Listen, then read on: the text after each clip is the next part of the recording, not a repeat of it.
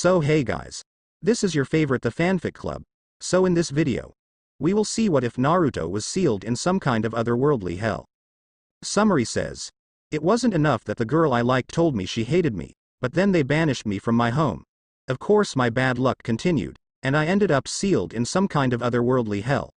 I spent 3,000 years down there, becoming a god in my own right.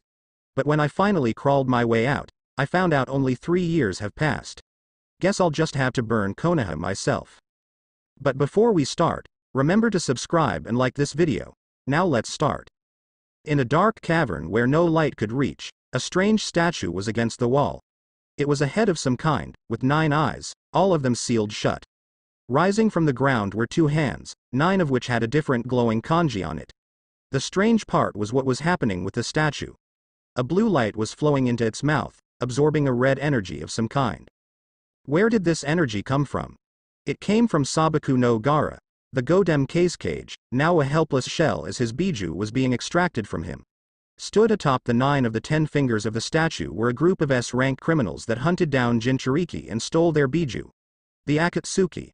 It was difficult to tell them apart from a distance, as they all wore the uniform. A black cloak with red clouds on it. Oi, leader Sama, a blond man with a feminine hairstyle spoke, his left eye covered by his hair. Just how long will the extraction take, Un? It will take three days and nights, Deidara, leader Sama, spoke up.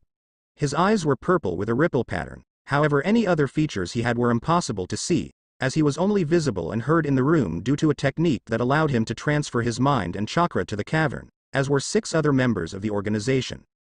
Really? Deidara raised an eyebrow. I thought that without Orochimaru it was gonna take longer than that. Silence Deidara. Sasori spoke gruffly, his metal tail swinging slowly. We must foku. Sadly for Sasori, he was cut off as a crazed laughter filled the room. Everyone looked around, but were unable to find the source. Then their eyes widened in shock as before their very eyes, a pitch black portal of some kind opened up on the ground and a hand erupted from it before it grabbed the earth, gripping it tightly. Ha ha ha. Finally. I'm out. All the Akatsuki could do was watch as a being covered in an ebony black cloak came out of the portal. They tried to see his face, but were unable to. All they could see through his hood was a pair of golden eyes. He stood up, and laughed loudly. Ha ha ha. And they said I was crazy. They said it couldn't be done. But I'm out. I'm free. The man's crazed laughter filled the room. Kisame grinned. Oh? And just who the hell is this? A new recruit, Leader Sama? No. The leader's eyes narrowed. You. Identify yourself. The cloaked man stopped laughing and glanced up at the leader, his raised eyebrow being unseen under his clack. This is the welcoming party. How rude. It was then the man seemed to notice the blue light and red energy. Following it, his eyes widened. Gaara. But. Dot how? It can't be. It's been. Realization appeared to dawn on him. I see. So Konoha is still standing then. The Akatsuki raised an eyebrow, but before they could question him, the man burst out laughing. Perfect. Then I'll burn it to the ground myself. But for now. The man looked up at the Akatsuki. I'm afraid I'm not going to let you kill Gaara. Itachi's eyes narrowed, though it was for his comment of burning Konoha. And how are you going to stop us? He questioned, his voice emotionless. The man just smirked under his hood. Oh you can revive the Jubi, I don't give a fuck about that. Many of them appeared confused at the man's statement. But Gaara dying? That's a BIIIIG no. His right eye shifted from gold to silver, and a brilliant light filled the room. The light cleared, but nothing had changed. Deidara smirked. Was that supposed to do something, un? He tried to reach his pouch of clay, but his eyes widened. He couldn't move his body. He was frozen. All around him, his fellow Akatsuki members appeared to have the same problem. Their mouths and eyes could move, but otherwise they couldn't move at all. Like I said, the man smirked as he walked to the statue. I can't have you kill Gaara. He stared at the energy and light for a minute, before he punched the statue in the jaw with such force, its mouth slammed shut, cutting off the flow of energy, as a single eye opened. There, you have enough energy from Shukaku, you won't need any more. What did you just do? The leader demanded. The man chuckled, sorry, but I'm not going to give out my secrets so easily. Walking over, he picked up Gaara carefully. Come on buddy, let's get you back to Suna. Sasori, Deidara, stop him. The leader ordered. We can't, Sasori said in his gruff voice. That light has disabled our bodies somehow. We can't move anything but our mouths and eyes. Whistling. The man walked to the boulder blocking the way. Huh, it looks like a pebble is in my way, he muttered before tapping it with his foot. It turned into dust in less than a second. Much better. He stepped into the light outside before stopping and glancing back. Oh yes, just one last thing Akatsuki. Reaching up, the man lowered his hood, and even the static Itachi's eyes widened in shock. Standing there, smirking at them darkly, was a young man of 19, his spiky blonde hair in a ponytail, his whisker marks making his smirk look like that of a fox. His silver eye turned back to gold as he stared them down. Stop me on my quest of vengeance, and I'll bestow upon you a fate worse than death itself. Mark my words, cross me and you'll regret it. With his piece said, Uzumaki Naruto vanished into white rose petals, stained red with blood. As he carried Gaara on his back and walked through the desert, Naruto hummed. It has been a long time since he'd been on the surface. Well, a long time for him. For him, it had been a good 3,000 years in that place. But in this place, he estimated only about three years had passed, since Gaara looked about the right age. He growled in anger, which means Konoha is still standing. I was hoping when I climbed out of Tartarus that the place would be nothing but a pile of dust, but it appears I am not so fortunate. Dot but that's fine. He smirked. It just means I am going to have the pleasure of burning it to the ground myself. As he said this, his smirk grew. And I'll destroy them in the most humiliating way. Naruto chuckled as his plan already began to form in his mind. Oh he was going to have so much fun, he could feel it. Sadly, he was snapped out of his thoughts by Gaara stirring on his back. He quickly propped the redhead down, watching him carefully. He didn't know if he was classified as dead or missing, but he wasn't going to be taking any chances. In addition to that, when he'd last seen Gaara, the redhead had been rather viscous. He was of course, nothing compared to Naruto as he was now, but he didn't want to fight Gaara in a desert. NNN. Gaara groaned lightly as he slowly opened his eyes, WH. Where? Good to see that you're alright, Naruto told him. Gaara slowly turned his head towards the voice, before his eyes widened. N. Naruto? The blonde gave Gaara a smirk. You didn't forget me, I'm so flattered Gaara. A Akatsuki, saved you from them, he shrugged like it wasn't that big of a deal. Since you woke up so fast, it's safe to assume they'd only just started extracting Shukaku from your body. If I showed up any later, you'd have been out a lot longer. B but how, did I find you? Naruto cut off Gaara, who just nodded, I was trying out a new technique I created, and I ended up right in the cavern where they were extracting Shukaku. This was not a lie. Naruto had indeed been trying out his new technique in order to escape Tartarus. It was pure coincidence that he climbed out where Gaara had been getting extracted by Shukaku. I see. Gaara whispered. Then. Thank you, Naruto. You have saved me. Again. Naruto waved his hand. Bah, think nothing of it, he conveniently decided to leave out he let the Akatsuki have just enough chakra from Shukaku to continue their plans. No, really. Thank you. Gaara gave his first friend a small smile, before it turned into a frown. Where have you been for the last three years? After word got out of Konoha banishing you, we sent out search parties in hopes of recruiting you to Suna, but. Well, I imagine you know. We never found you. It was like you'd vanished from the world. Not inaccurate. Naruto told Gaara, making the red-haired Kage raise an eyebrow. Oh I'll tell you about it later, he promised. But for now, how about we get you back to Suna, eh? Gaara nodded and shakily began to stand, only to start falling. Naruto caught him. I'm still too weak to stand.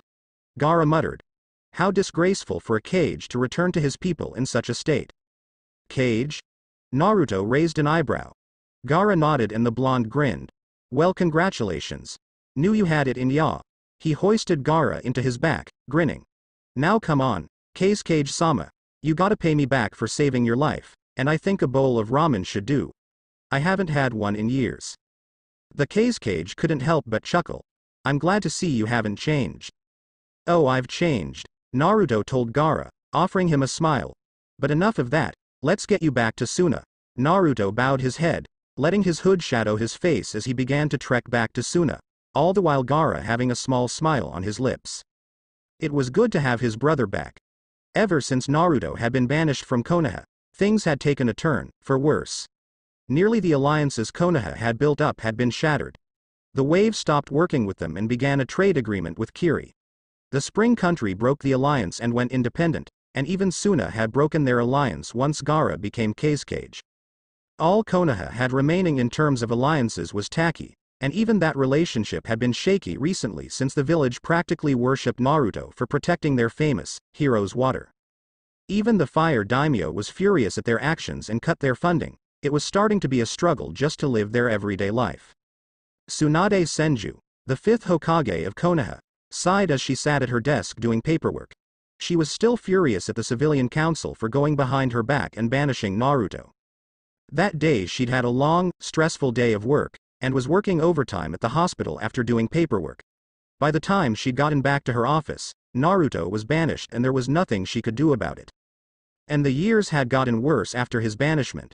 They'd lost all their alliances, except the one they had with Taki.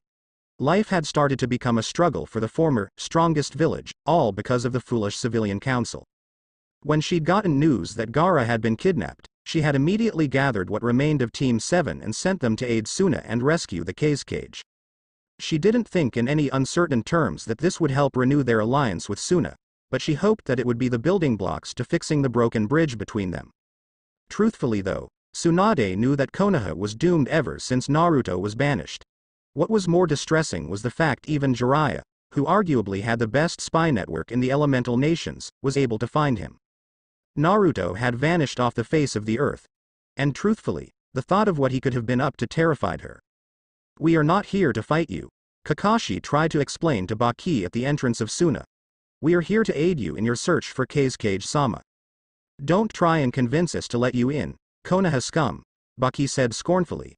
We have the strictest orders from Kazekage Sama to never let any of you in, even if he is absent. And after what you did to the Uzumaki, we have good reason not to.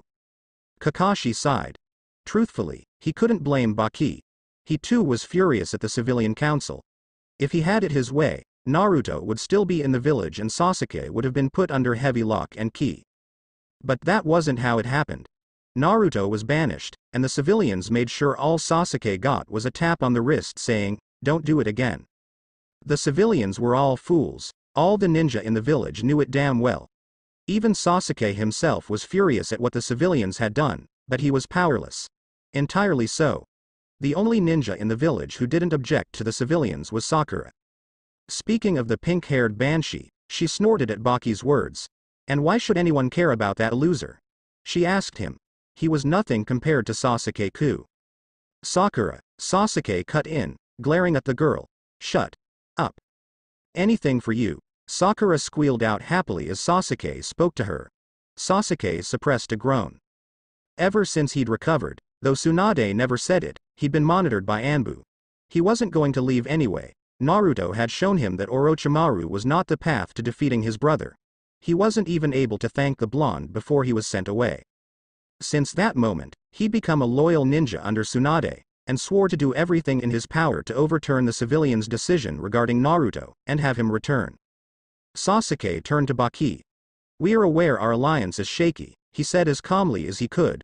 But we request entrance. Have your sand watch us if you must, we promise not to cause a ruckus. For the last time, Baki snapped. No means en, Baki-sama, one of the guards said, his eyes narrowing in the distance. Two people are approaching.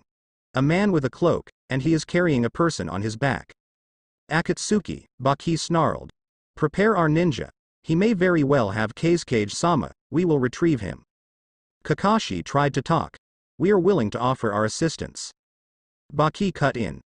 Don't bother, we've seen what Konoha does to people who do their missions. Yar, yar, a lazy voice said, and they all looked with wide eyes. Standing there was a man in a pitch black cloak and a hood obscuring his face. On his back was none other than Gaara himself, looking awfully amused. No need to gather your shinobi, I mean you no harm. He shifted his gaze to the Konoha shinobi. Well, none of you Suna shinobi. Release Kazekage Sama, Baki demanded. And perhaps we will not attack you, Akatsuki SCU. Baki. Gaara cut in. This man is not a member of Akatsuki. In fact, he saved my life. Had he been even a little later, I may not be here alive. Baki's eyes widened. as did the eyes of the Konoha shinobi, and he bowed his head. I apologize, sir. We have been very concerned for Kazekage Sama after his kidnap, and I jumped to the wrong conclusion. The man waved it off. Ma, ma, no need to worry about it. Honestly, it was more of a chance I was able to find Gaara. I was testing out a Jikukan jutsu and I ended up where the extraction was taking place. Kakashi's eyes shot wide. Jikukan. Nobody had dabbled in such arts since his sensei, at least not successfully. For someone like this to be using such techniques, he must be powerful. Now then, the cloaked man said, amusement laced in his voice. May I please take Gaara to a hospital? He is still rather weak, and I think he could use some treatment. Baki nodded and barked out an order for everyone to make way for the cloaked man. The man smirked softly under his cloak, his gaze shifting to the Konoha shinobi. For a brief moment, Sasuke and Kakashi saw under his hood, and what they saw was something they would never forget, even without using their Sharingan. A pair of burning golden eyes, ablaze with vengeance staring straight at them. We will meet again, Sharingan no Kakashi, Uchiha Sasuke, his eyes narrowed at the pink-haired girl. Banshee no Sakura, he said stiffly as he walked into Suna before the girl could respond. Said girl's eye twitched violently at the name was was given, and she prepared to charge, before Kakashi grabbed her arm. Do not make things worse, he warned her coldly. The mission is a failure. We're heading back to Konoha. As they all turned and began to walk away, Sasuke spared one glance back at the man's retreating form. He had a feeling that man was one who would either be his salvation or his destruction. Only time would tell. Deep within the black abyss known as Tartarus, a woman sat on a throne, her legs crossed and a hand on her cheek as she sat there, bored. She had long, flowing hair that split into two colors, brown and pink, with white streaks going through her pink hair. Her eyes flickered to different colors, and they were never the same color. One was pink, or brown, or white, but the two eyes never shared a color. She wore a white jacket with a pink interior, brown pants, and black and white boots with very high heels. Under her jacket was a brown corset, curved in the middle and at the bottom, exposing her hips. She also wore a multitude of necklaces, which hung haphazardly around her neck. Right now, she was waiting. Waiting patiently for news on her lover's latest experiment. Honestly, she thought he was being crazy with his idea, as what he was attempting had never been done, though she would support him the whole way. It had been three days since he'd vanished to try his little experiment, and she should be getting news any. Lady Neo. A girl's voice called to her, Second. It's about time, she said. Her voice was small and matched her small stature. It was rather cute, though it held an underlying promise of pain. And where is my foolish husband? A about that, the girl stepped into view. She had short black hair, and wore what seemed to be a black yukata with a white one under it, with a sheathed sword at her hip. Her purple eyes showed shock, fear and, excitement within them. Well? Neo raised an eyebrow. I am waiting, Rukia. Where is my husband? Th the experiment was a success, Lady Neo. Rukia told her finally. Neo froze, her eyes widening in shock. She sat up properly and uncrossed her legs, staring at Rukia. Pardon? Rukia took a deep breath as she repeated herself. Lord Naruto's jutsu worked, Lady Neo. He has escaped Tartarus. The ice cream themed woman stared at Rukia in shock, before her shock expression slowly twisted into a savage smirk. I see, Rukia, prepare our armies. We finally have a way out of this pit, and it is time that my husband's world know what we are capable of. At once, your highness. The girl turned and ran from the room to follow her lady's orders. Uzumaki Neapolitan laughed as she stood, the sound echoing throughout the throne room. It seems you were right, Naruto. You really are the most unpredictable shinobi in the pit and out of it. She grinned savagely, her dual-colored eyes flickering wildly, and soon, all worlds shall bow to us. Nobody shall stop us in our quest. Her smirk turned cruel as her body glowed with a pale pink light. Naruto hummed as he sat outside of Gaara's room, waiting for the doctors to tell him that Gaara was well enough for visitors. Well, it wasn't like they could stop him if he wanted to see Gaara, he was Uzumaki Naruto for a reason. Saying no to him was something you should never do. His wife was going to be so pissed off at him, he knew that he was meant to bring her here immediately once he was sure his jutsu was a success. A. He'd bring her tomorrow, she'd only have to wait, two years and eight months.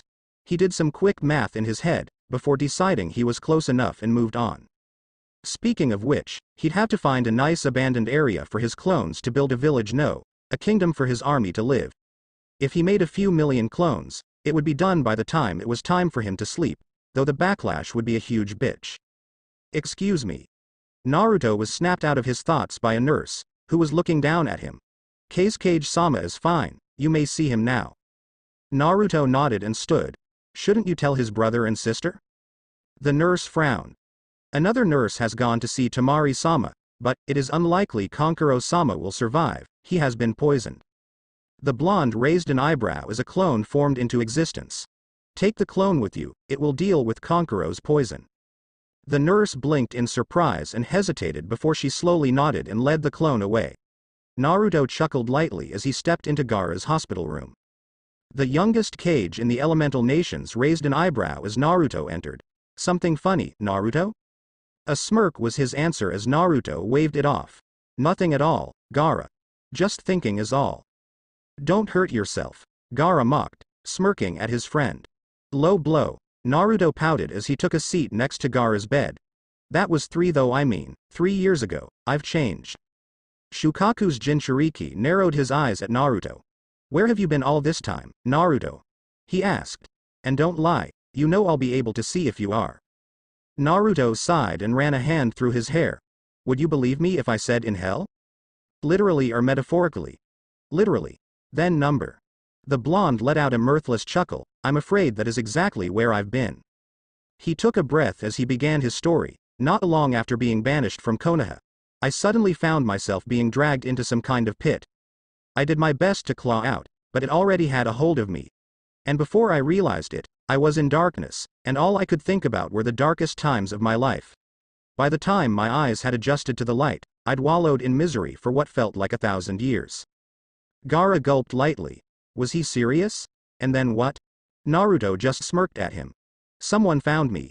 At first, I thought they'd kill me, but they decided I wasn't worth killing, and was kind enough to explain how things worked in hell. I was down there for 3,000 years, though it seems there is a temporal gap. About two years and eight months down there is a full day up here. The Kazekage's eyes shot open. What? Why aren't you dead? The time you've been gone is.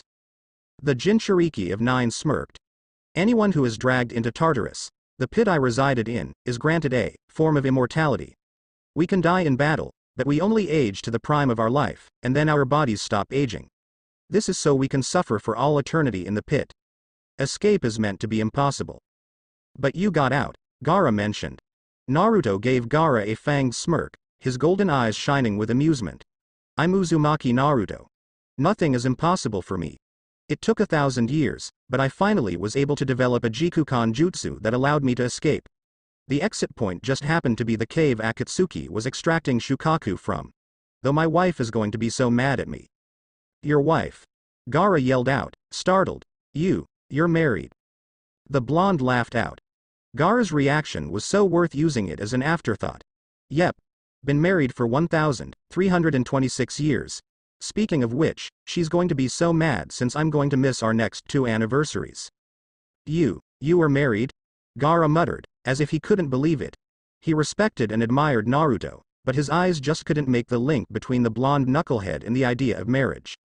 It isn't that surprising, Naruto mumbled grumpily. Yes Gaara, I am married. Congratulations, the Kazekage finally said after he'd had a minute to collect himself, even if he felt like pouting. Naruto was married while he'd yet to even kiss a girl. Naruto chuckled lightly and slowly stood up. As much as I'd love to stay, Gaara, I have things to do today, he told his brother in all but blood. Gaara sighed, but he'd expected this. Are you sure you can't stay longer?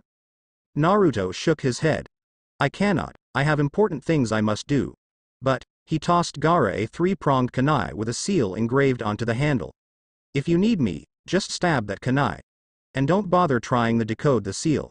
You won't succeed. The red-haired male nodded, not that he would try. He would not betray Naruto's trust. He offered his hand. Remember, you shall always have a home with Sunagakure.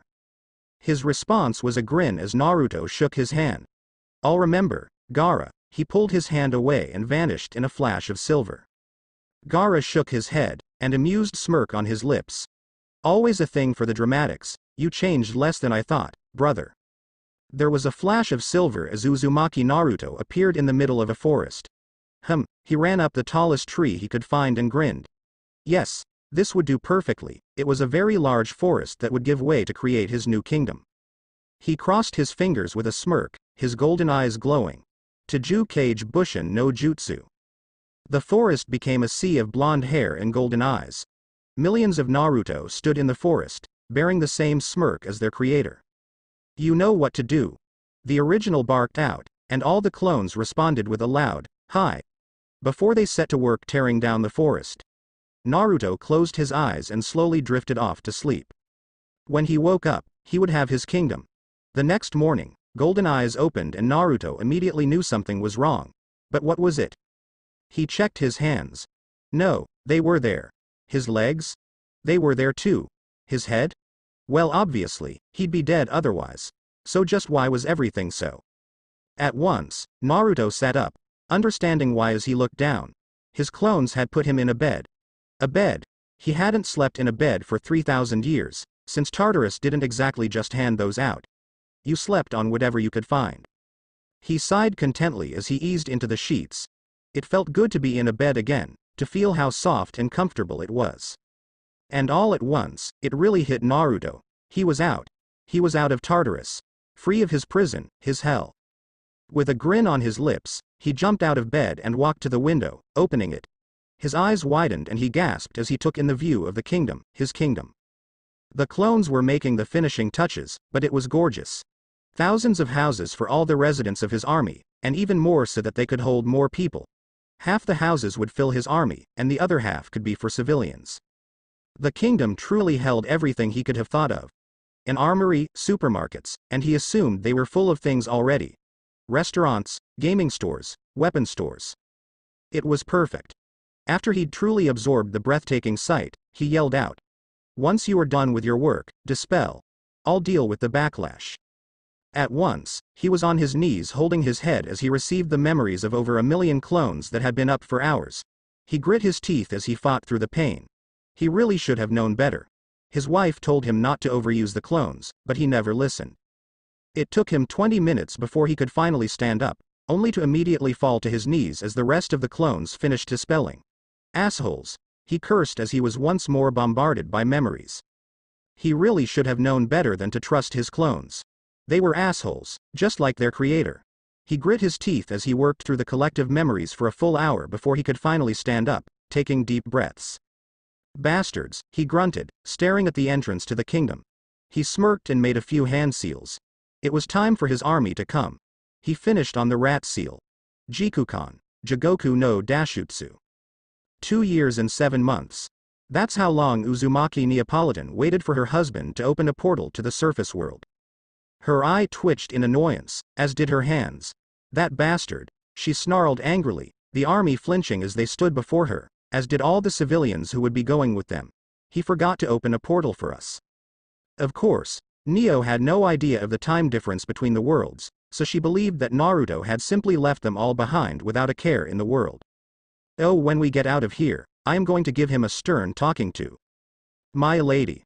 Rukia spoke up, pointing. Everyone's eyes followed her finger, before they widened at the sight of a huge black portal spiraling into existence before their very eyes. Neo's jaw dropped for a moment, before she smirked widely. Ladies and gentlemen. Neo yelled out. We have resided here for too long. Now we walk. To freedom. To freedom. The army and civilians cheered. Neo grinned widely as he walked through the portal, her army following behind her. The first thing Neo noticed was that they were no longer in darkness, there was light everywhere, and it was honestly a little startling for her, she had to strain her eyes and make them adjust. When they adjusted, she gasped as she noticed they were standing in an absolutely huge kingdom. It was ridiculously massive, enough room for the army, and civilians, and then some. The final thing she noticed was the sun-kissed blonde hair standing on the balcony of the castle in the middle of the kingdom, along with the huge tree that spiraled up behind it as if it were a guardian. Uzumaki Naruto spread his arms. Welcome to the elemental nations, he roared out, his eyes glowing with twisted thoughts and dark intentions. Neo shivered in delight. Welcome, to our revenge. The army cheered loudly, along with the civilians as tears cascaded down their cheeks. They were free of Tartarus, they were finally free.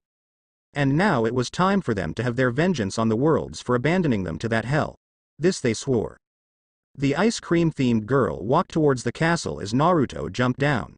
She punched Naruto in the stomach as he walked to her. That was for nearly taking three years to bring us here, she told him. Naruto grunted from the hit before smirking. About that Neo, it appears that we something of a time distortion between Tartarus and this world, his smirk became sinister, and Neo shivered in delight once more. One I believe we can abuse. So the mission was a failure. Tsunade asked as she saw Team Kakashi enter the room. Kakashi held no emotions on his face, Sasuke had a frown, while Sakura looked furious. Failure might not be the right word, Kakashi told Tsunade. It was Tsunade's turn to frown, explain. Kakashi scratched the back of his head. Well, we got to Suna just fine, and we were having some trouble trying to convince Baki to let us into the village so we could help, but then, well, some man in a cloak came over, carrying Gaara on his back. Tsunade's eyes widened. Pardon? Did you just say that a random man walked to Suna holding Gaara? He somehow took Gaara from the Akatsuki's clutches? It was incredible that it could happen, to say the least. Kakashi nodded. I believe so, yes. But what was more surprising was that Gaara seemed very familiar with the man. They seemed like family. Instantly, hope ignited in Tsunade's heart. Could it be? What did the man look like? We couldn't get a good look at his face. Sasuke spoke up. It was like the cloak was obscuring his face from the darkness, and I never looked with my Sharingan because I didn't want to seem hostile. But I could see a pair of golden eyes under his cloak. I see, the Hokage forced herself to quell the disappointment she felt. She was hoping that the man could have been Naruto. And how did he act? Did he speak at all? He was an asshole, Sakura screamed. He called me. Sakura. Sasuke cut in. Shut up, he ordered, glaring at her with his Sharingan. Instantly, the Pinkett flinched back and nodded, afraid of angering Sasuke any further. She didn't know why, but Sasuke was very hostile towards her. Of course, she blamed Naruto, but he'd been gone for three years and his attitude had not ceased. Sasuke turned back to Tsunade, his Sharingan turning off. He acted similar to how Kakashi does when he's late. He was very nonchalant about his arrival, and calmly told everyone to be calm. He glared at Kakashi, Sakura, and myself and I could almost taste the hatred he had for the three of us, like he had some personal grudge to be held. Tsunade nodded slowly, filing away this information in her mind. Any news on his abilities? At all. He claimed to be proficient in Jikukan ninjutsu, saying he was experimenting with one and that was how he stumbled onto the place Gaara was being held captive, Kakashi informed Tsunade slowly. It could have just been him boasting, but considering that we are certain Gaara was taken by Akatsuki, the chances of him being a liar are unlikely. We know he must be skilled if he could take Gaara back. The blonde Hokage leaned back as she considered Kakashi's words. If this was the case, there was a man out there who was at a great level in Jikukan ninjutsu. Along with that, he seemed to hold a vendetta against Team Kakashi, or possibly Konoha as a whole. She thought it might be Naruto, but she quickly wrote it off as Naruto's eyes were blue, and when he was angry they should have turned red just like the Kyubis. One last thing, Tsunade said finally. Did any of you spot him? Kakashi sighed and shook his head. She nodded, as if she'd expected it. Very well, you are dismissed. The three nodded and walked out of the room as Tsunade looked over a scroll Jiraiya had given her not long ago. It held only one line, but it spoke volumes. Orochimaru has been sighted moving towards Tenchi Bridge. How? A man in an orange spiral mask yelled out in anger as he looked over the cave the extraction of the Shukaku had been taking place, furious. Watching him was the fly trap Akatsuki member, Zetsu. I spend years searching for him, he growled, his voice livid. And he suddenly pops out with such power. It is inconceivable, I knew I should have killed him the instant I realized Minato's intentions to seal the Kyubi into the boy. And yet you did not, Black Zetsu spoke up. And now we have a Jinchuriki that shall be just as hard to catch as the Hachibi. What are we gonna do? White Zetsu asked the masked man, curiosity lacing his voice. The masked man took a deep breath, his Sharingan spinning furiously from the only hole in his mask. We shall have to make do. Suna shall be prepared for another attack, and we cannot risk so many of our members. The amount from the Shukaku should be enough for the Jubi's revival, since the eye is open. Black Zetsu frowned slightly. Yes, another question, just how did the Kyubi Jinchuriki find out about the Jubi? There is almost no recorded history of it, and it learn of it one must read the Uchiha's stone in their secret underground meeting place. And they must have the eternal Mangekyo Sharingan, which the boy cannot have. If I knew, we wouldn't be having this conversation, the masked man snorted. We shall proceed with the plan as normal, and keep your ears and eyes out for the Sanbi, it should be revived by the time we have grabbed the Nibi Jinchuriki. Understood. Zetsu nodded as a whole as he sunk into the ground. Nobody shall stop peace, the masked man growled, his Sharingan morphing into its Mangekyo state. Nobody. Slowly, after what felt like a millennia of wallowing in my misery, I could feel my eyes adjust to the darkness. The first thing I noticed was that I wasn't dead at least, I could feel my heart beating and the chakra coursing through my veins. What I did notice, make me throw up. I was standing on rocky terrain, covered with blood and bodies everywhere I look. Organs, limbs, eyes, tongues, everything imaginable.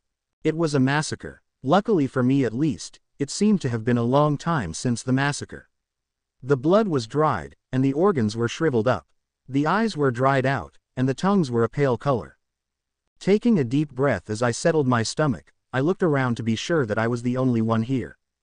Once I confirmed I was, I clutched my stomach and grabbed my bag as I quickly fled the scene. I'd never felt so physically ill before, except for the time I'd drunk that off milk a few days after I kicked Mizuki's ass. Mizuki, that was someone I hadn't thought of in a long time. I hated him, but at the same time I was grateful. Without him, I wouldn't have ever become a shinobi. In my own, weird way, I guess I owed my career to him. I was so lost in my thoughts, I didn't notice someone walk up to me and hold their sword to my stomach until it punctured my clothing.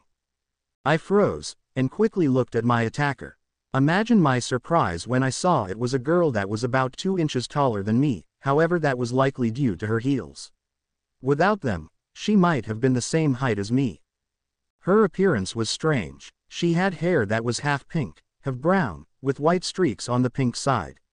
Her eyes changed every time she blinked, sometimes brown, sometimes pink, and sometimes white. Though no two eyes were the same color. She had an incredibly cold look on her face as she held her sword to my stomach, and in her other hand was, the rest an umbrella. It took me a second to see the handle of her weapon was that of the umbrella. Did she store her sword in the parasol? W wait, I mang to find my voice. D do you know where we are? I asked her. Her eyes seemed to widen in surprise. She opened her mouth to speak before she closed it and let out a silent sigh in annoyance. She carved words into the ground, which I read as, Are you new here? Why yeah, I nodded an affirmative. Where are we? She swiped her boot through the ground and carved the word, Tartarus.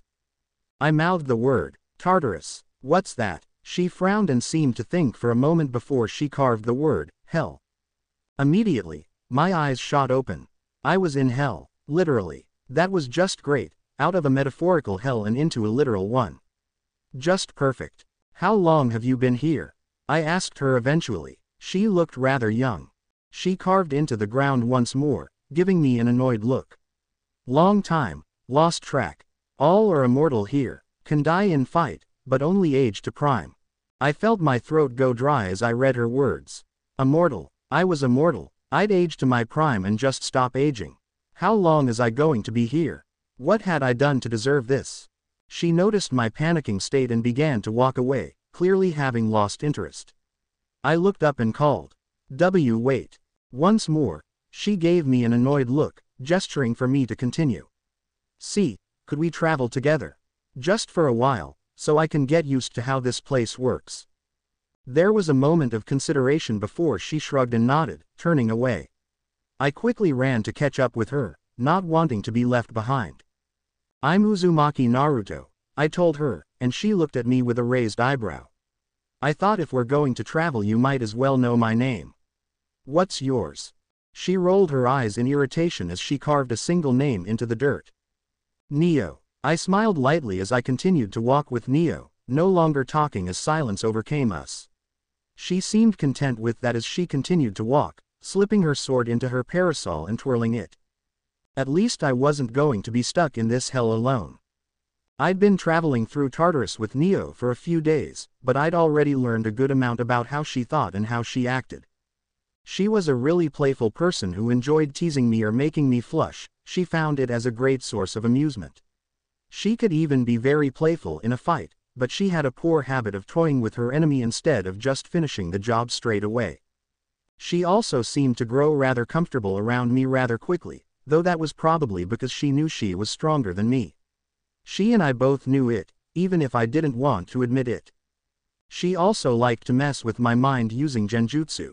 Every so often I'd wake up and I'd find myself surrounded by wild, rabid bears and freak out, only to see Neo giggling to the side and realize it was an illusion.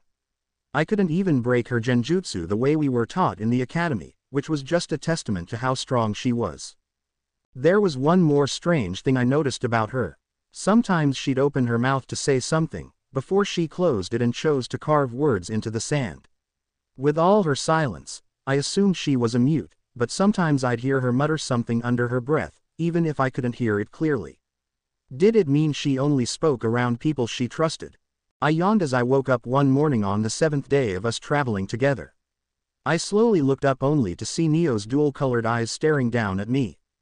G-A-H. I yelled out as I suddenly sat up in surprise. I slowly turned and glared at the sight of the ice cream girl silently giggling at my reaction. It wasn't funny, I insisted to her, and she just gave me a smirk that screamed, yes it was. I glared at her twice at hard for that, but she just continued her silent laughter. I let out a sigh as I slowly stood up, rotating my shoulders. What's for breakfast this time? I asked. If anything, Tartarus didn't lack any animals to hunt for, they were just incredibly hard to kill since about 99% of them had aged to their prime and just grown stronger with time. She offered me a shrug, and pointed towards the forest. So in other words, you're making me hunt for it again. I said with a deadpan expression on my face. Ever since I mentioned I was a shinobi, she decided I'd do all the hunting and cooking for us. I wasn't too mad, it helped me train up my stealth even further, and let me practice my cooking. When she gave me a grin and a nod, all I did was sigh as I did a few stretches.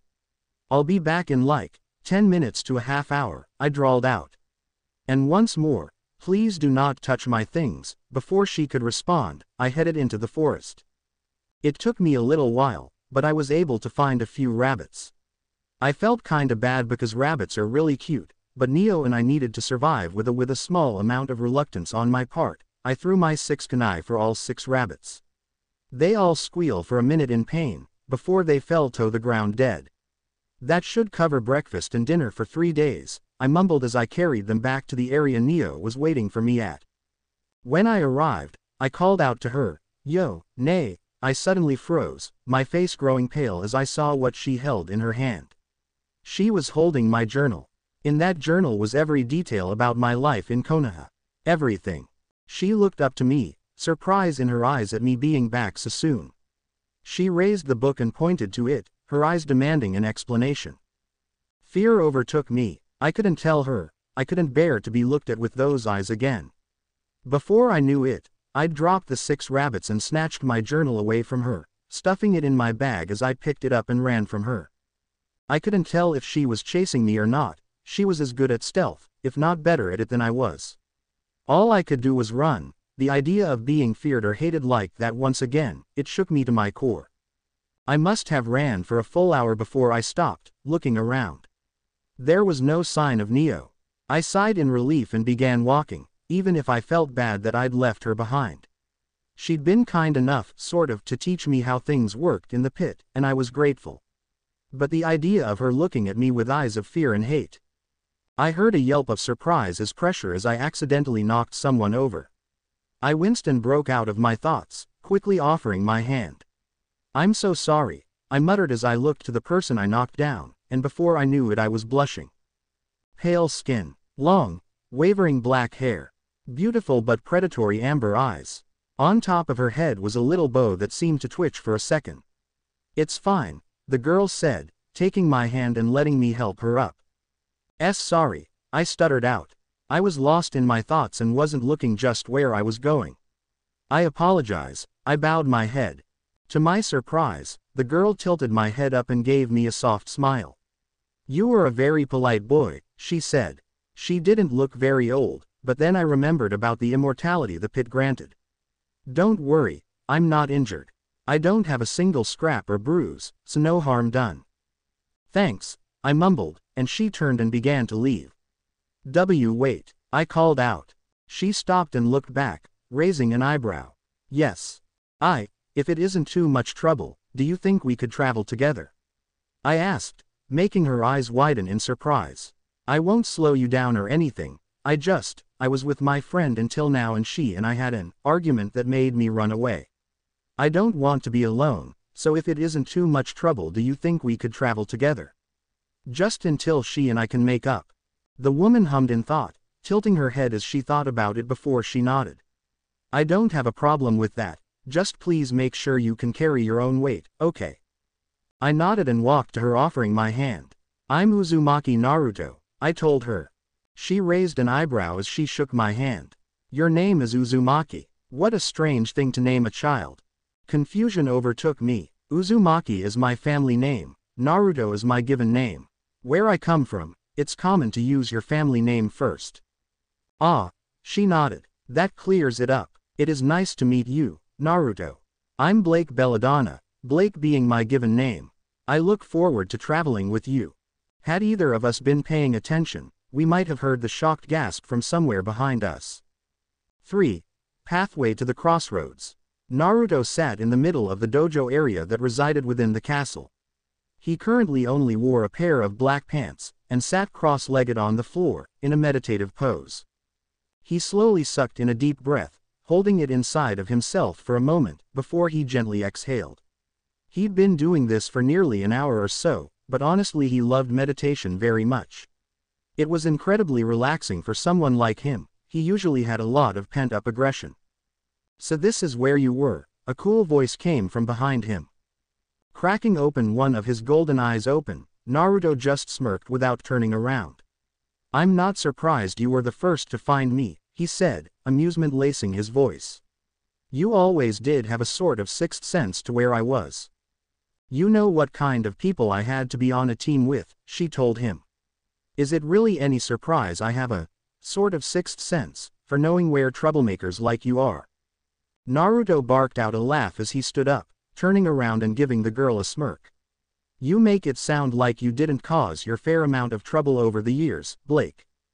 Blake Belladonna just smiled at him, her bow twitching slightly as she walked over to him and wrapped her arms around him. Thank you, she told him. I honestly never thought we'd never escape that pit, you gave us our freedom, and nothing means more to me more than that. He smiled lightly. You don't need to thank me, I also wanted to get out of that pit, Blake. I'm just glad that we could finally escape and get our revenge on the worlds that shunned us. She gently rested her head on his chest. So, what crazy thing do you have planned next? She asked him, and he could feel her smirk. And don't act like you have nothing planned or it isn't crazy. I'm not stupid, and you know it. True enough, he muttered.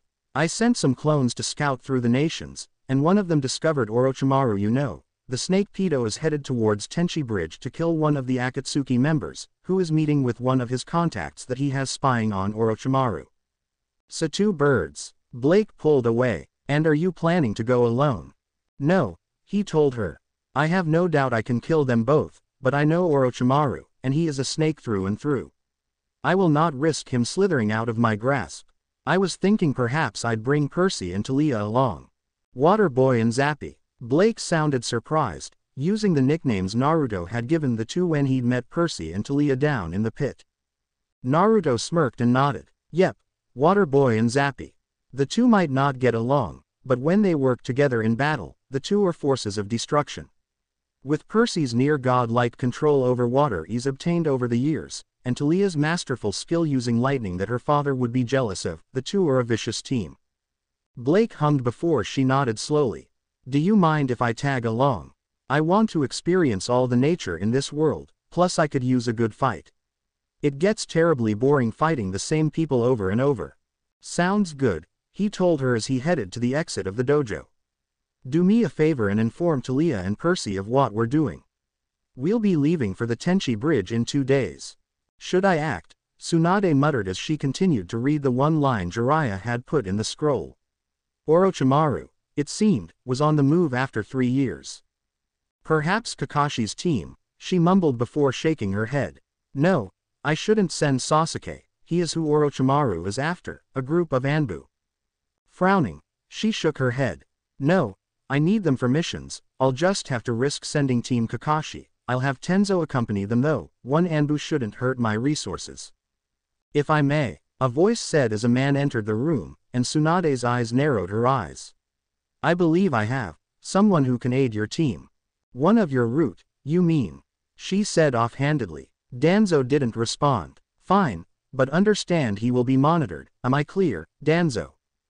Of course, Princess Tsunade, the Yami no shinobi said as he turned and left the room, no emotions visible on his face. Tsunade sighed. Cat, she spoke up, an Anbu with the mask appearing in front of her. Fetch me Team Kakashi and Bor. Tell them to have a mission. Also inform Bor he shall be acting as a Jonin under the name, Yamato. Hi, Hokage-sama, the Anbu said as she vanished. Tsunade slowly pulled out a bottle of sake from her bottom drawer. She needed a drink right now. Sasuke took a, a breath as he went through his kata at Team 7's training grounds. He enjoyed the peace and quiet that was no Sakura, Kakashi, or Naruto. Honestly though, he missed Naruto. He was the Uchiha's best friend, and he tried to kill him, and came damn close too. Sasuke shuddered at the thought he could have killed Naruto. Granted, he supposed that banishment wasn't much better than death when it came to Naruto. Letting out a sigh, he finished running through his kata and was about to begin practicing his jutsu, when he heard a certain banshee scream for him. Sasuke-kun. His eye twitched as he slowly turned to her, doing his best to maintain a neutral face. Needless to say, he was glaring at her rather heavily. What do you want? I came here to tell you that Tsunade-sama has a mission for us, she told him, before blushing. And um, I was hoping you'd go on a date wi. No, Sasuke shot her down before she could finish. She growled, is it because of Naruto Baka? The last Uchiha looked at her for a few seconds before laughing. D do you really think this is Naruto's fault? You really think I keep rejecting you because of Naruto? Yes, there's no other explanation, Sakura growled out angrily. Sasuke stopped laughing and gave her a cold look. Naruto has nothing to do with it. The reason I keep rejecting you, Sakura, is because you were an awful excuse for a human being. All at once, Sakura felt as if her world was crumbling around her. W. Wa. You heard me, he snapped. Since day one, you have shown that you are a horrible person. Just look at Naruto for how you really are. He did his mission, and he saved me. What did you do though? You attacked him and broke his heart. B but why does he? Sakura tried, but Sasuke was on a roll now. Because he loved you Sakura. He snapped, his Sharingan blazing into existence as Sakura gasped. Naruto loved you with all his heart and soul, and you took his love and crushed it to pieces because he followed the mission parameters. The Pinkett took a step back. Naruto, loved me, she spoke as if she couldn't believe it. A crush, yes she knew that. But love. That's right, Sasuke growled. And you crushed his heart. I was still barely conscious, and you showed me what a real monster was like that day. So understand this, Haruno Sakura. I will never, in a million years, go out with you. The most that you will be to me is a friend, and currently you are just someone I have I have the displeasure of working with. And with your current attitude. He walked past her and whispered just loud enough for her to hear as tears cascaded down her cheeks. That is all you will ever be. As he glanced back, his Sharingan would forever engrave the sight of his teammate collapsing onto the ground and crying her eyes out into his memory. He looked away, his cursed eyes returning to being black as he headed towards the Hokage Tower to find out just what the mission was. He had a horrible feeling about the mission, and considering his run of luck with missions, he had a had good reason to believe this mission wouldn't go according to plan. Sea green eyes burrowed into the lake in front of him, strained disbelief visible in them. Sitting by the lake was a boy with short black hair and a tanned complexion that had paled over time.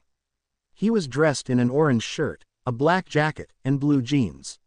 He slowly turned over a pen in his hands as he stared at the lake. I can't believe I'm out, he whispered softly. I honestly didn't think we'd ever escape. Dog but I'm out. The air, the smell of the water, he inhaled slowly and exhaled, smiling. Freedom. Yes, none of us can really believe it, Blake's voice came from behind. Glancing back, he saw the small smile on the girl's lips. Surprising, is it not? The teen merely nodded as he shifted his gaze back to the lake. It's not often you come and find me, Blake, he said. Any reason why you're here? Naruto will be taking you, myself, and Thalia on a mission to the Tenchi Bridge in two days, she told him. The teen raised an eyebrow. A mission already, I suppose there's no rest for the wicked, why are we headed to this, Tenchi Bridge? We'll be confronting the Snake Pedo, she quoted Naruto, and the boy visibly shivered. Naruto really described Orochimaru in a creepy way. It should give you some time to get ready. Right, he stood up, looking over the water. Anything else I should know? Nothing comes to mind, Blake told him. She turned around and walked away. I'll see you in two days, Percy. Perseus Orion Jackson nodded as he began to walk into the water. See you around, Blake, he said as he submerged into the water, a smile on his lips as he did so. He couldn't wait. A bolt of lightning struck a tree, igniting it in fire as the wood turned black from the intense heat.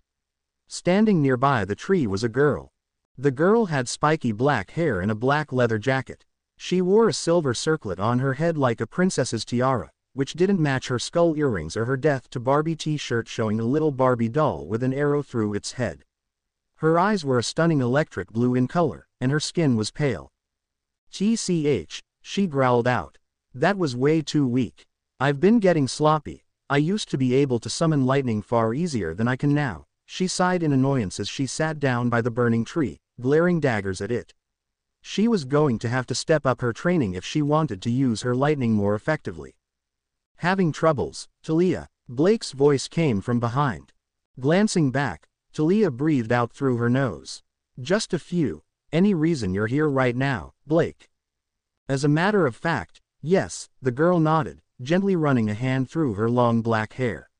You, myself, Percy, and Naruto have a mission to the Tenchi Bridge in two days to deal with Orochimaru. Instantly, Thalia grew serious. She'd heard of the Sannin from Naruto, and knew they were no joke. Surely Naruto could do it alone. She asked. He could, Blake agreed. But he doesn't want to risk Orochimaru slipping away this time. He wants that man out of the equation, and he could be a problem if we don't take care of him now. Thalia gently bit her lip and she thought about it. On the one hand, Orochimaru was very skilled. On the other hand, it was for Naruto, and she definitely owed him. I'll be waiting at the kingdom's gates in two days, she told Blake.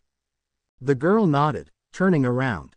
I suggest you try asking Naruto to get some clones to steal some scrolls from Kumo and see if you can get some Raiton Jutsu.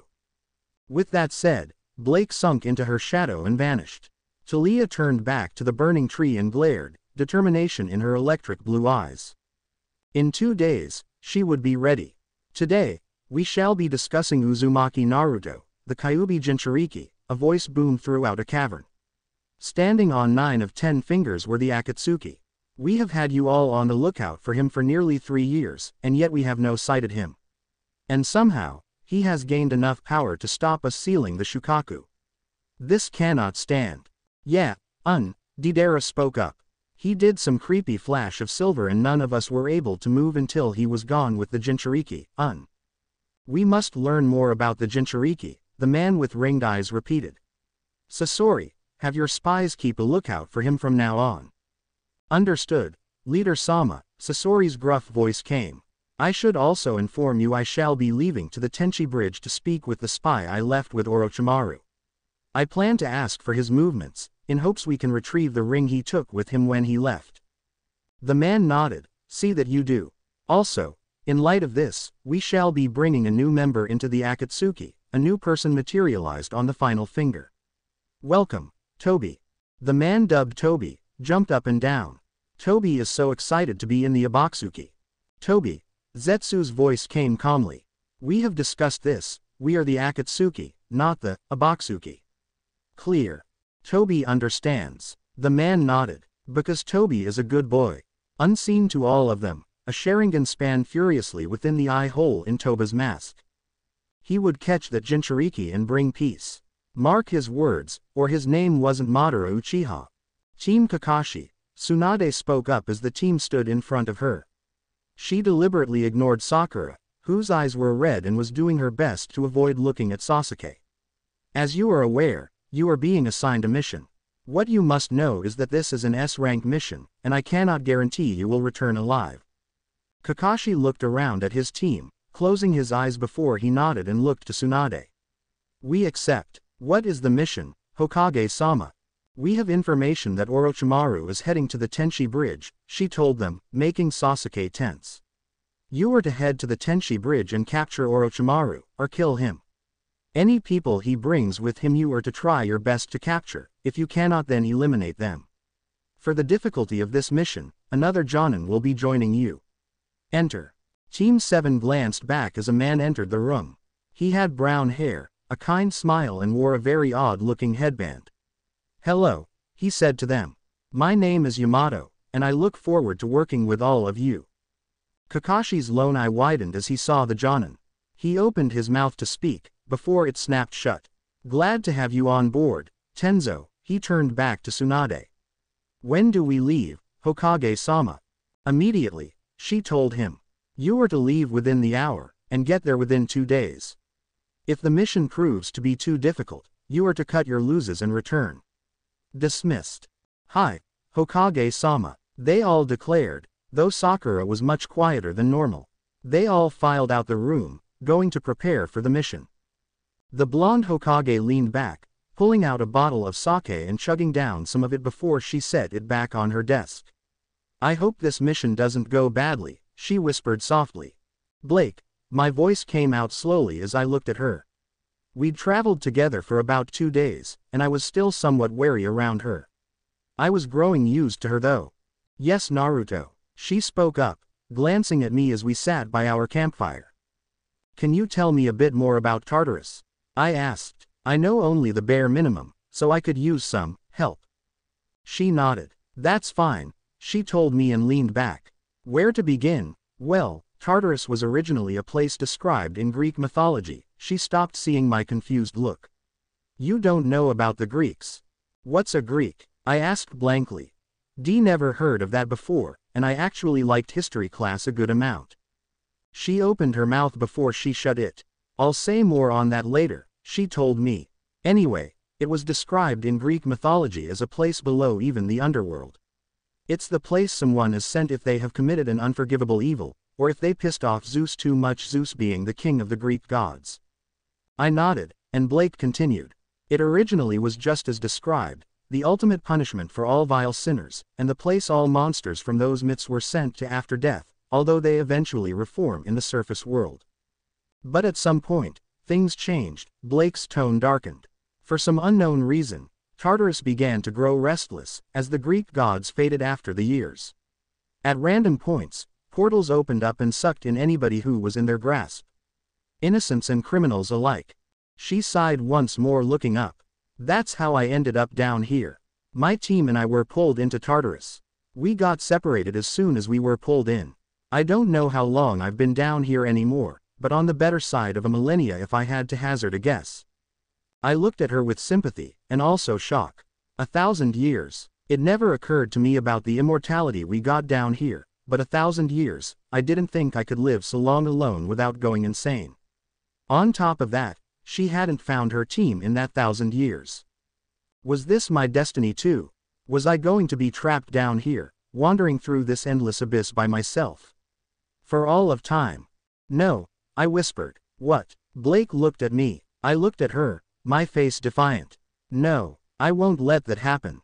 I won't let you be alone anymore, Blake, I couldn't stand it. The thought of someone being apart from their friends, their family. Naruto, she tried to say. I promise you, I interrupted. I will help you find your friends so you can all be together again.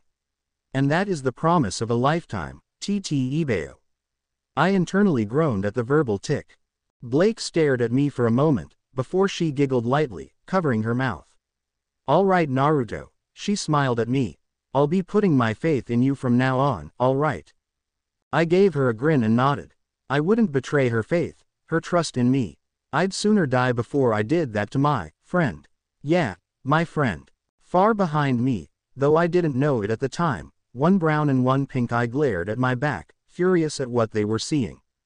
Naruto leaned against the gates of the kingdom, his cloak covering his body entirely except for his eyes. He tilted his head and cracked his neck, letting out a grunt of satisfaction as he waited for the rest of the group that would be heading with him to the Tenchi Bridge. It had been two days since he'd decided Orochimaru couldn't be allowed to remain alive, and it was about time for them to head off to the bridge. Now he was just waiting for them to arrive. Hey Ruto. Speaking of them, it seemed Percy was here. Shifting his gaze to the son of Poseidon, Naruto saw a grin on his face. Hey Percy, the blonde replied, giving Percy a high five. You ready for this mission? Percy nodded. As ready as I'll ever be, Ruto, he told the blonde as he stretched. We still waiting on Pinecone Face and the Miss Shadow Cat. The Jinchuriki gave Percy a nod. Yeah, knowing Blake she'll be here in five more minutes on the dot, while Thalia should be. Right here, came the voice of the woman in question. Naruto and Percy looked to her as she sauntered towards them with a smirk on her face as she twirled the long, blood-red spear in her hands, her bracelet glimmering in the sunlight. Right on time, Naruto smirked under his hood. And now we just await the kitten herself.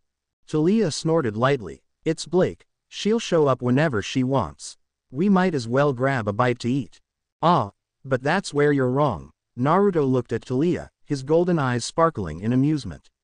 I've known Blake for nearly three millennia. She'll be here in five, no, three minutes now. You can't possibly know that. And yet I'm saying I do, Naruto retorted. Just wait three no, two minutes, and you'll see. Percy cut in before Thalia could try and return fire. Cool it thalls, he said. Don't bother arguing with Naruto. He traveled with Blake for years down in the pit. If anyone knows Blake, it is definitely Ruto. Thalia glared at Percy. Stay out of this seaweed brain. She snapped at him, before she realized her mistake. Instantly, Percy looked down as he felt pain flood his body from the use of that old nickname. A name he hadn't heard since, since Annabeth had died down in the pit. What did I miss? Blake's voice cut in as she arrived, drawing the ire of Thalia as she already felt bad for what she'd said, and light amusement from Naruto. Instead of responding to the faunus, Naruto merely pat Percy on the back. She's in a better place, he told Percy lightly, who didn't respond, he just looked up with his sad, sea green eyes. Sighing, Naruto turned away and faced towards the forest beyond the gates. Let's go, he told them. We have a snake that needs a thorough skinning. How is it you are up before us? Sasuke asked Kakashi as he walked out of the wooden house Yamato had created using his Mokuton. You are the laziest person I know, how come you get up so damn early? Ma, ma, Kakashi I smiled at Sasuke, finding his reaction somewhat amusing. He rarely got moments like these anymore. Don't concern yourself with that, Sasuke. For now, could you go wake up Sakura? No, the Uchiha said indifferently. She is intolerable and constantly tries to get my affections. I do not want them, nor will I ever want them. She is nowhere near my type of girl, at all. Kakashi raised an eyebrow. And here I thought you must be gay, he said. With the amount of pussy being tossed at you, I thought you'd have popped your cherry, yet you haven't. Good to know you don't bat for the other team. Sasuke let out a groan. This had been a running gag among Jonin and Chunin for a while now. They all said he'd have to be gay to turn away all the girls he did. He wasn't gay, he just had yet to find a girl to fit his interests. I don't see how that concerns you, Sasuke said. Just know it isn't a fangirl. I don't know how Tsunade didn't beat the fangirl out of her damn ass, but I guess she'll be a fangirl for life. At least she can heal. The Jonin said nothing, though Sasuke's assessment was correct. Sakura was far too into the path of a fangirl to turn away, but she was thankfully a semi-competent kunoichi when Sasuke was not involved. When he was though, it was instant fangirl. Then I'll wake her, Kakashi said after a moment of silence and he headed inside. Shrugging, Sasuke took a seat on a rock as he waited for Kakashi and Yamato, along with that weird third teammate they had now. Sigh. Sighing, Sasuke looked to the sky. Ever since they'd set off on this mission, his bad feeling about the mission had been getting worse. And now was the day they were going to confront Orochimaru. One thing was certain within his mind though. Today, someone was going to die. A member of his team, or Orochimaru himself, Sasuke really didn't know. He didn't want to either. Sasori grunted as he waited in the middle of the Tenchi bridge, waiting for his spy to arrive. The brat is taking a long time, Sasori grumbled. Perhaps he was found by Orochimaru, it will be annoying if I released the jutsu while he was around Orochimaru. I apologize for my tardiness, Sasori-sama, a voice came not long after Sasori spoke, a cloaked figure walking up to him. It took a little time to convince Orochimaru to allow me to leave the base, and I had to lose the shinobi he had tailing me. Very well, he grunted. Remove that ridiculous hood already, I must confirm that it is you. Nodding, the spy lowered his hood to reveal Yakushi Kabuto. Within the bushes a short distance away, it took a lot for the Konoha shinobi not to gasp in surprise at the spy's identity. It appeared Kabuto had a long history of spying. Did you have any difficulties? Sasori asked in a gruff voice, best to get that out of the way. Kabuto shook his head, no, Sasori-sama, luckily, you released the jutsu whilst I was alone in my room, so I was able to quickly understand the situation and not be suspected. Orochimaru still has people tracing everyone in the bases, he trusts nobody. Not even me, and I'm technically his right-hand man right now. I see, Sasori took a moment to think before he spoke up. Which base does Orochimaru intend to go to and why does he plan to go there? He intends to travel to the base he has in Kumo next, he told Sasori. He is keeping a special test subject there whom he wishes to experiment on more, and hopefully replicate her abilities for his own uses. Sasori nodded, dismissing the notion. Orochimaru loved experimenting on people, it was no concern of his just who he was experimenting on. And what of the ring I told you of previously? Kabuto shook his head, I'm afraid Orochimaru keeps that with him at all times, he never lets it out of his sight. While he doesn't plan on getting on Akatsuki's way, he isn't going out of his way to help you either. I see, Sasori almost found it amusing. Orochimaru not wanting to get in their way. He got onto their shit list the second he betrayed them for his own ambitions. Granted, they all had their own ambitions, but they weren't foolish enough to turn their back on Akatsuki. With all due respect, Sasori-sama, Kabuto spoke up. May I please have the item now? I do not know how much longer I can stay here without arousing suspicion. Very well, Sasori slowly reached into his robe, before his eyes narrowed and his metallic tail flashed out from under his cloak. Instantly, Kabuto jumped away as a kunai flew past where his head had been, and he landed next to Sasori, with said man's tail deflecting the kunai. He's here, Sasuke let out a low whisper. He could feel his curse mark screaming in the presence of that man. And it was wise to scream. Rising up from the ground was Orochimaru of Sannin, a smirk on his pale face. Room for one more, gentlemen. He asked as he stood there. Orochimaru, Sasori growled. It appears Kabuto was followed by the snake himself. Perfect, just what he didn't want to deal with. I must thank you, Sasori-sama, Kabuto said. Had you not unleashed your tail, that kunai would have pierced my skull. Don't flatter yourself Kabuto, Sasori told him. I unleashed my tail because I saw the kunai coming, and I was protecting myself. Kukuku, Orochimaru chuckled. Still so cold, Sasori. Of course, I suppose you wouldn't have changed at all. Still blindly following those ringed eyes like the mere dog you are. It appears you'll be dying right here, Orochimaru, Sasori said. It's almost a pity, I wanted to see your face when Itachi dealt with Yo. He was cut off as Kabuto's hand lit up for his Chakra no Mesu and cut straight through Sasori, or rather, the wooden puppet that covered Sasori as the true one jumped away, his head down hiding his face from view. So that is what Sasori looks like. Kabuto questioned as he saw red hair on Sasori. He never showed you his looks either, Kabuto. Orochimaru questioned, chuckling. Kukuku, how careful you are, Sasori. Kabuto, you have betrayed me. Sasori's voice came, no longer as gruff as before. In fact, it sounded rather light and young. Kabuto just shrugged with a smile. Orochimaru Sama broke the jutsu holding me long ago, I serve him willingly now. And we shall be ending you. I see, Sasori looked up and revealed his young face. Then it appears I don't have a reason to let either of you live. I'll kill you right now, Kabuto, Orochimaru. You might, Orochimaru admitted. But before you do, how about you call out the five rats hiding in the bushes? Sasori's eyes narrowed as he glanced back. So, I was followed. How embarrassing.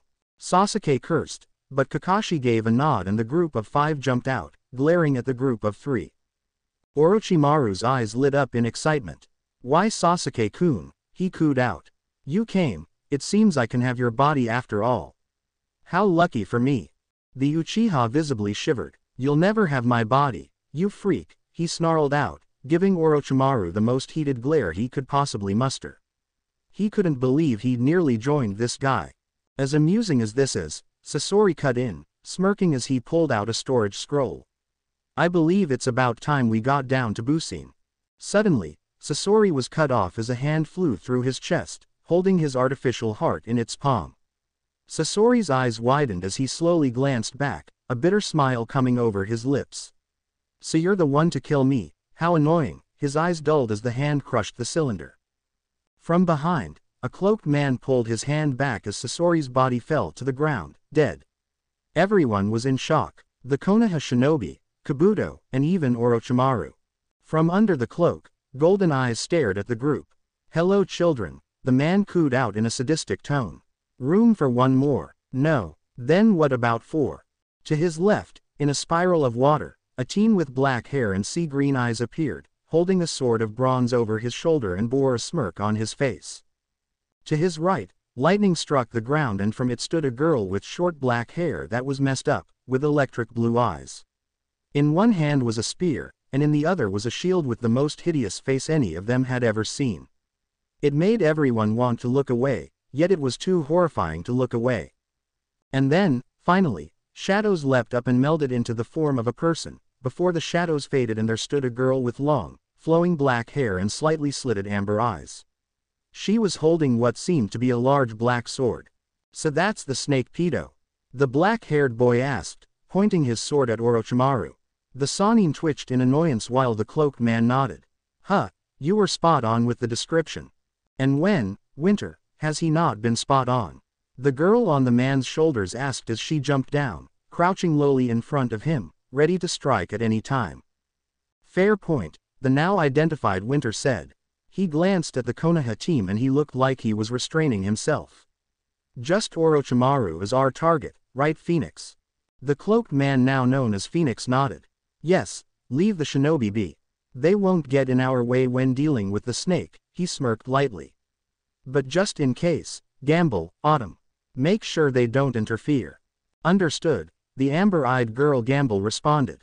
The last one must have been Autumn and she just silently nodded as she glared at Sakura, as if the banshee had done something in the past to her. And what about me? Winter asked. Phoenix merely pointed at Kabuto, and Winter smirked. Oh you are too kind. Who are you? Orochimaru demanded, a feeling of worry bubbling within him. This man, how is it possible he didn't sense him until just now? He'd even killed Sasori before Orochimaru could comprehend the situation. It was impossible. You don't need to know, Phoenix said. All you need to know is that I've come for your soul, Orochimaru, his golden eyes glowed maliciously. It's time to give the devil his due. As he said, do, his group sprung into action. Autumn jumped in front of the Konoha ninja, Blake beside her, and she slammed her spear into the ground. Lightning struck all around them before it collected and formed a sphere around them. A dome of lightning. What is this? Phoenix heard Sasuke's voice from within, but he didn't care. He had more important things to attend to. Shifting his gaze to the Sannin, he smirked. Kabuto quickly jumped in front of Orochimaru, but Winter tackled him off the bridge and towards the water far below. Kick his ass. Winter's voice came echoing. Phoenix smirked. It's just you and me now, Orochimaru, he said in a cheerful voice that sent shivers down the Sannin's spine. Who are you? Orochimaru demanded once again, fear gripping at his heart. It doesn't matter who I am or was, Phoenix said, stepping forwards. Before he knew it, Orochimaru found a hand on his face and found himself flying through the forest, hitting every tree on the way to a clearing up ahead. Once at the clearing, he felt his head get slammed into the ground hard. Slowly pulling his head up, he looked at Phoenix who was now standing a good distance away. Holding up three fingers, Phoenix spoke. Three chances, he said. I will give you three chances to end my life. After the third attempt, if you fail, I will kill you without a second of hesitation. Now come, Orochimaru, his golden eyes glowed, and in that moment Orochimaru knew he wasn't facing a man. He was facing a monster that he had no way to escape from. The instant the dome formed around them, Sasuke was both fascinated and worried. Lightning was an attacking element, he knew this of course since it was one of his affinities. Nobody used it for defense or anything besides attack, except the fourth Raikage who had his Raiton no Yoroi. What is this? How? How could this girl create a dome of lightning and confine them all there? You don't know or understand lightning, Autumn said simply, twirling her spear as Gamble drew what seemed to be a short katana from the sheath, slipping the sheath onto her back. Think Phoenix would be mad if we killed him, Gamble. Possibly, Gamble said simply, all while Sasuke grew more and more infuriated at them talking like he was nothing. He wasn't as prideful as before, but he still had pride, damn it. He wouldn't be treated like he was nothing. Lightning gathered in his hand and he charged towards them. Chidori, Sasuke, wait, Kakashi yelled to him, but he didn't as he continued to charge, his eyes glowing with fury. Autumn looked unimpressed. Gamble, you want to take this? With pleasure. Gamble smirked as she ran at Sasuke. Sasuke thrust the Chidori at her, but she merely ducked under it. Sloppy, she said, sweeping his leg out from under him in a flash. Sasuke was surprised, but managed to back flip away from her and charge at her again, drawing his sword and swinging it at her. Gamble was quick to block with her own sword. Oh, so it's a battle of swords you want? She asked, quirking an eyebrow. I'd be happy to oblige you, little boy. The little boy growled at those words, infuriated. I'm going to kick your ass. He snarled as he began to engage her with his sword. Autumn hummed as she walked towards the two Chunin and two Jonin, twirling her spear as she held her shield in front of her. Looks like your golden boy is a bit busy, she mocked them. I hope you don't mind dealing with little ol' me. Because unlike Gamble, I don't quite know what, holding back, means. You won't win, Kakashi told her, getting into stance as Sai pulled out his scroll and brush, Sakura tightened her gloves, and Yamato stood ready with the hubby seal. It's four against one, an unfair fight. You're right, she agreed, smirking. You should have brought another ten. She thrust her spear towards the sky as lightning shot down at the group. Kakashi quickly formed a Raikiri and swung at the bolt as the lightning split in half from the impact. With the speed the lightning was moving, he was honestly shocked he was able to stop it in time. Sakura looked on in awe at Kakashi using the jutsu to actually cut lightning. Impressive, Autumn said, her electric blue eyes sparking with amusement. You really can cut lightning. I was wondering if that little entry in the bingo book was telling the truth. She didn't get to say any more, as Yamato reacted. Mokuton. Shichuro no Jutsu. Instantly, a cage rose up around Autumn, closing at the top to prevent her exit. There, that should hold her for a moment, he told the group. Autumn merely quirked an eyebrow as the top of her spear cackled with electricity and she sliced through the wood with ease, causing it to explode violently as she jumped out. Phoenix won't mind if I kill just one of you, she growled as she thrust her spear towards Yamato. Sadly for her, Kakashi grabbed her spear and tossed her away using it, while Sakura charged in, jumping up with the intention to hit her with a falling punch. CHAA. Autumn looked up at Sakura and smirked as lightly cackled along her spear. Wrong move. She thrust her spear towards Sakura, even as she fell back, and she pierced straight through the pinkett before Sakura's fist could hit her. Eyes widening, Sakura coughed up blood right onto Autumn's face as she fell towards the side. Sakura, Kakashi yelled as he ran over, with Autumn quickly jumping away. As she did so, Gamble landed behind her, their backs pressing against each other. What happened? Sasuke asked as he rejoined his team, his face bruised and hurt, his clothing torn. What happened to her? She's been pierced, Kakashi grunted. Reaching out, Sakura tried to seal herself, but screamed in pain as she couldn't seem to use her chakra for some strange reason, making Kakashi's lone eye widened. The spear did something, he said. She needs medical attention. We're going back to Konoha, he told Sasuke. He looked miffed, but he nodded. You think I'll let you escape? Autumn snarled. You won't believe. Let them go, Gamble said, giving Autumn a stern look. Autumn wanted to argue, but instead she grunted and the lightning dome vanished as if it had never existed. The shinobi immediately retreated, except for Sai, who appeared to be sneaking to the location where Phoenix was fighting Orochimaru. Autumn raised an eyebrow. You want him? No, you can do it, Gamble told her as Autumn smirked. Hoisting up her arm, she pulled it back and her muscles tensed, her eyes locking onto Sai's form. Gae Bolg, she tossed the spear, and an explosion rocked the forest. They would never find Sai's body, only his broken paintbrush and his book of drawings, the unfinished picture of himself and his brother in it.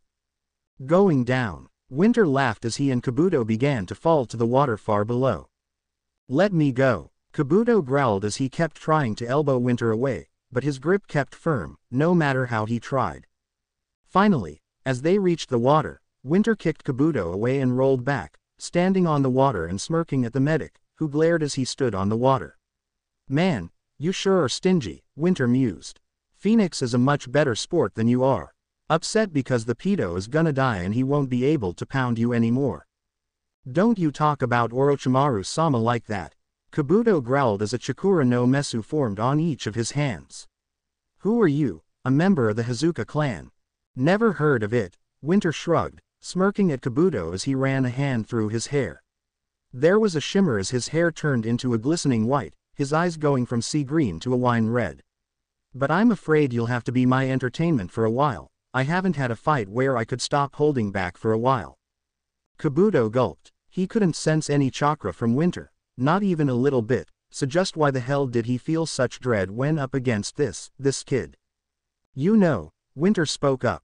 I usually like water, but for you, I think we need something, colder, Twirling his bronze sword, he stabbed it into the water, and Kabuto watched in shock as the river began to turn to solid ice, and it began to spread. He had to jump up to avoid being consumed as it spread all the way down without stopping. Slowly, Winter drew his sword from the water. Do you like it? He said in a mocking voice. Usually I'm pretty nice to people, you know, but then I meet people like you who work the snake pedo and I can't help but have my trigger pulled. Winter's cheerful gaze turned into that of a blizzard, his smile long gone. And it makes me want to teach you just why I bear the name Winter. Why you? WH what are you? Kabuto yelled, fear gripping his heart. I am the destroyer of Olympus, Winter said, his eyes glowing as the air around him grew cold. The bane of Kronos, conqueror of Gaia, the final judgment, the horseman of chaos. I am, Winter, and you, Kabuto, have been judged. And I deem you, his eyes flashed as his bronze sword turned into a striking midnight black. Guilty. Your punishment. Being erased from existence. Kabuto gulped but took a breath. He wouldn't let this boastful brat beat him. He was the right-hand man of Orochimaru, and had faced one of the Sannin and come out without a problem. He would wi. How sad, Winter said from behind Kabuto, and instantly the medic screamed out in agony. He could feel it, his blood freezing within him, his body growing colder, and ice forming over the large gash running from his left shoulder to the right side of his hip as he fell back. Winter walked and stood over him, pointing the midnight black sword down at Kabuto. And to think, this all could have been avoided, had you merely realized that you chose a foolish path, he tutted. The last image Kabuto had before he was erased was the smiling form of Winter above him, but all he could see was a demon that would make the Kyuubi wet itself. Phoenix laughed as he watched Orochimaru attack him the only way the man seemed to know how. Using his snakes. It was so stupid it made Phoenix laugh in amusement. So long, and all Orochimaru still had was taijutsu and his hebi jutsu. It had been years, and Phoenix knew Orochimaru still had his futon. Stay still you brat, Orochimaru snarled as he continued to fail hitting Phoenix with all of his hebi jutsu. No, Phoenix chuckled, snapping his fingers, all the snakes burst into flames before Orochimaru's eyes. All of those attacks, that was your first try at killing me, Orochimaru. You have two more before I end your pathetic life. Orochimaru growled. This mere boy thought he could kill him, one of the Sannin. He was immortal, eternal, he would not die, ever. You insolent little, he snarled as he slammed his hands together. Futon. Daitoppa. Phoenix merely shook his head in disappointment as the blast of wind surged towards him. He merely stomped on the ground as a wall of earth surged up and blocked the attack. That wasn't really a good try, he mocked. I'll give you a freebie on that one, so you still have two more tries. Care to try out your kenjutsu with the kusanagi next? Do not mock me, Orochimaru snarled, however he summoned forth his weapon, glaring at Phoenix as the man merely kept his golden gaze locked onto Orochimaru. Die, Orochimaru snarled as he charged in, beginning to aim swings towards Phoenix, head and limbs, hoping to maim him or cut off his head. Sadly for Orochimaru, he'd allowed his rage to blind him and it allowed Phoenix to dodge him with ease. His golden eyes glowed with amusement as he continued to dodge Orochimaru without a single care in the world. After a minute or so, he got bored and kicked the snake pedophile away.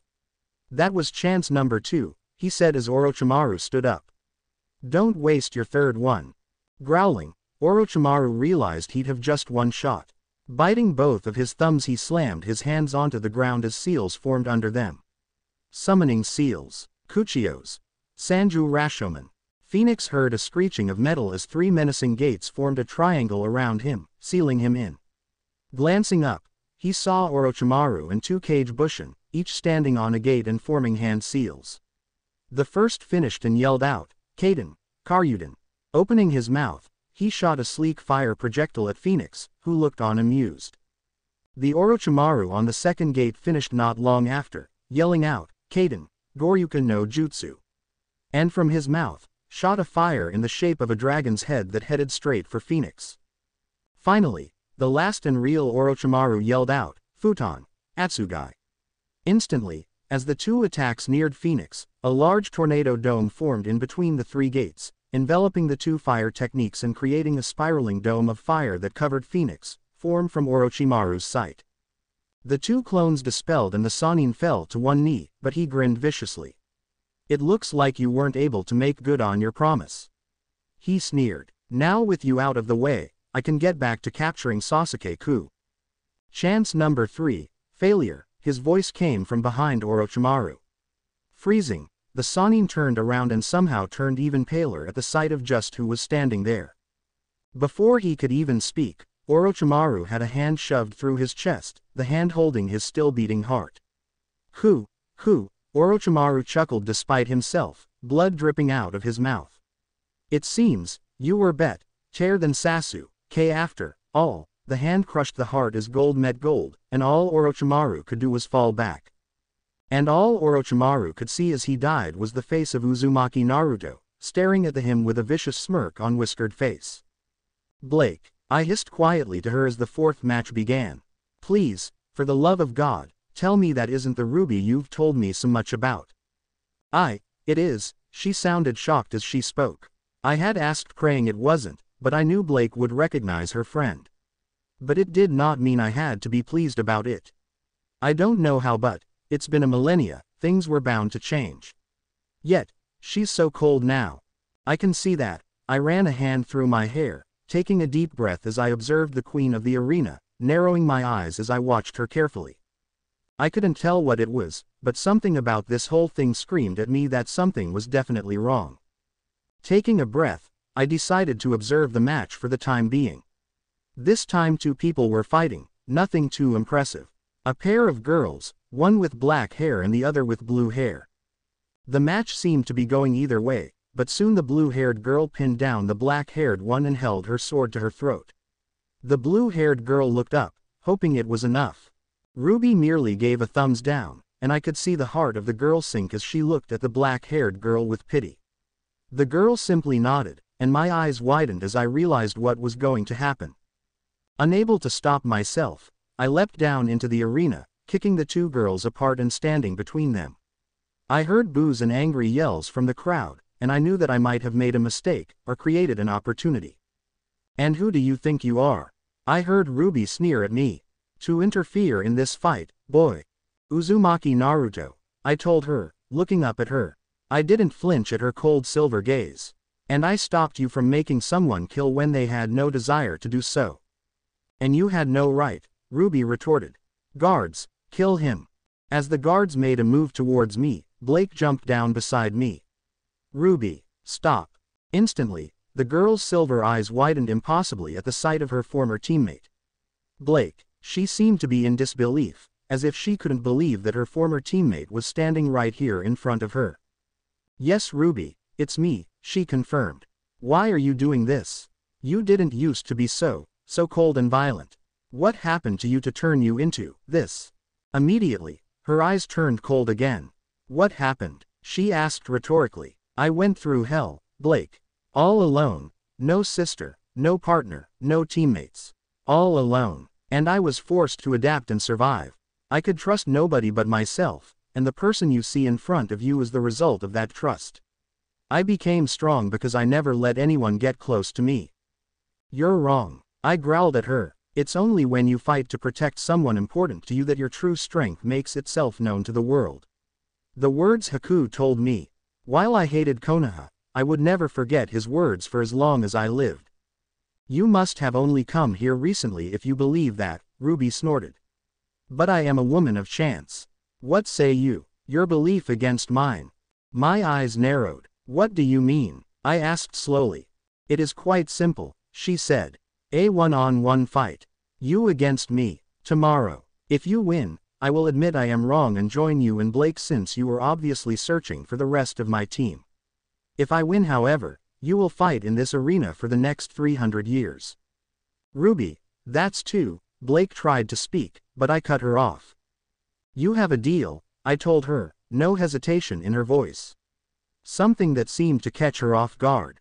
But until then, no humans can fight in matches.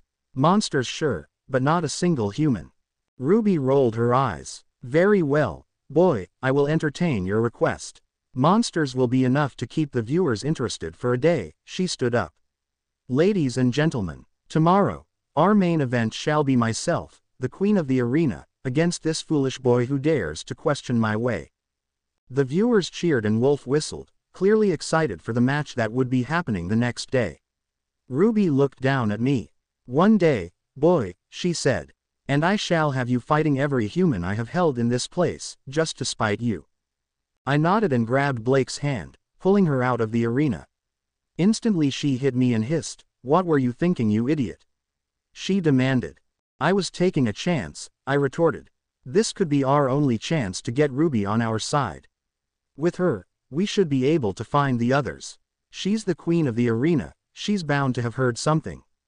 And offering your servitude was just for that. She asked incredulously. She has over a thousand years of experience. You have hardly ten now, collectively. What are you going to do against her? What I do against every person who underestimates me, I smirked. I am the number one unpredictable knucklehead shinobi, Blake. I always do what you least expect. At least if anyone expected what plan I had in store, I'd certainly be surprised. Because I just thought of it myself. I clenched my fist and tuned out Blake's yelling. Ruby was step one to fulfilling my promise. And I'd finish this step no matter what. I always keep my promises, and I never go back on my word. That is my Nindo, after all. I was back. It was only standing before these gates I realized just how long it had been since I'd last ventured here, into the deepest recess of my mind where it slept. I never thought I'd come back here of my own free will to visit it, and yet here I was. Staring into a pair of crimson eyes that stared right back at me. I could see its fanged smirk behind the bars, the malicious glint in its eyes. Kyubi, I spoke after what felt like a thousand years, though I knew it couldn't have been that long. It has been a long time since we last met. Indeed it has, the fox said, amusement lacing its voice. And what an unexpected visit from my warden. Five years without a single visit. Just what compelled you that you would come to me willingly, brat? Your chakra, I said, walking towards the gates and I slowly began to rise towards the piece of paper that contained the beast. For a long time I've feared your power, I told it. But right now I need that power of yours so that I can keep a promise.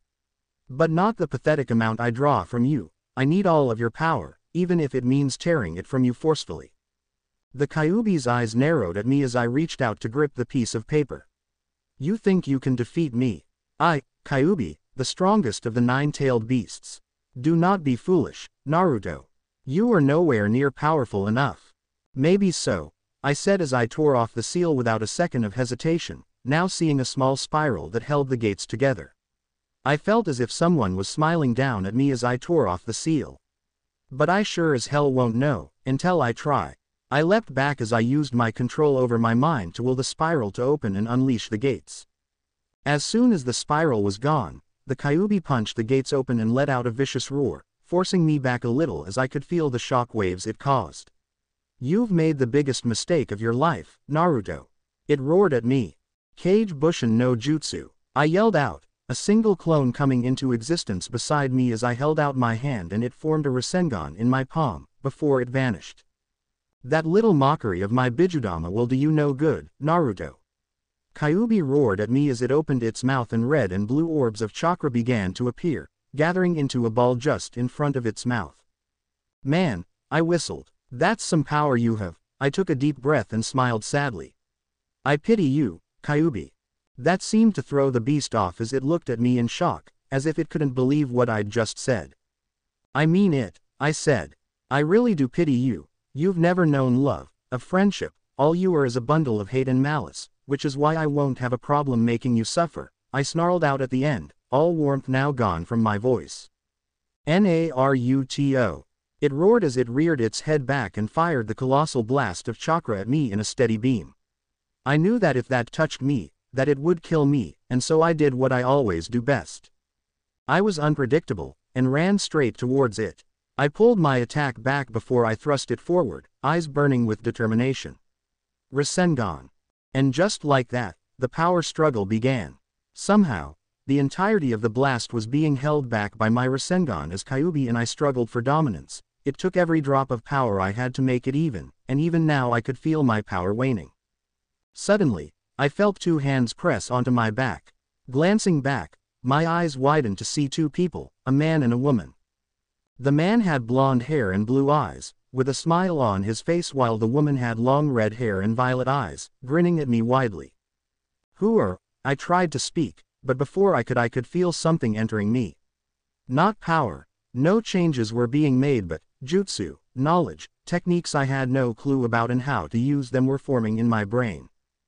Good luck, Naruto, my son, the blond man said, and my eyes widened as I finally realized just who this was. The Yondaime Hokage. And he just called me son. Which mean that. We'll always love you, so don't let the fox win, the woman told me, and tears dripped from my eyes as her name entered my mind. Uzumaki Kushina, my mother. W wait. Don't, I tried to say, but the two suddenly vanished into nothing. My tears became hateful along with my eyes as a furious expression came over my face, and I glared angrily at the fox. Chains burst from the ground, chains of my own making, and wrapped around its limbs. Surprised, it cancelled its attack as it fell to the ground, landing flat on its back. Th these are Kushina's. It spoke in shock. I walked towards it, livid. It had taken everything from me. First my childhood, then it was slowly sapping my life every time I used its chakra. And now, it stole away my one chance to connect with my parents and really learn about them. And for that, this beast would never be forgiven. I will make it suffer for all eternity. I told you I would have your chakra. I told it, any sign of warmth long gone from my voice as I stood over it and reached out with my own chakra. I gripped the red energy within the beast and pulled, a thin line of gold surging from the beast into my hand. Don't think it's so easy. The beast snarled as the line of gold began to turn red, and I could hear the voices of the villagers, the malice and hate I had for them. The corruption, I would kill them, kill them eh? I'll be putting my faith in you from now on, alright. I froze a little as I heard Blake's voice echo throughout my mind. That was right, I couldn't let this anger control me, Blake was counting on me to bring her team back together, I couldn't let her down. Taking a breath, I wiped away the malice and hate within my mind, thinking of all the good times I had back in the surface world and over my five long years with Blake. I heard the beast roar in anger as I continued to suck up its chakra, but I ignored it as the thoughts kept coming. And soon, I felt them settle on a girl I hadn't thought about in years. Long dual-colored hair, heterochromic eyes, awfully short, and with that damn teasing and irritable grin on her face. I had to find her someday and apologize. Yeah, that sounded good.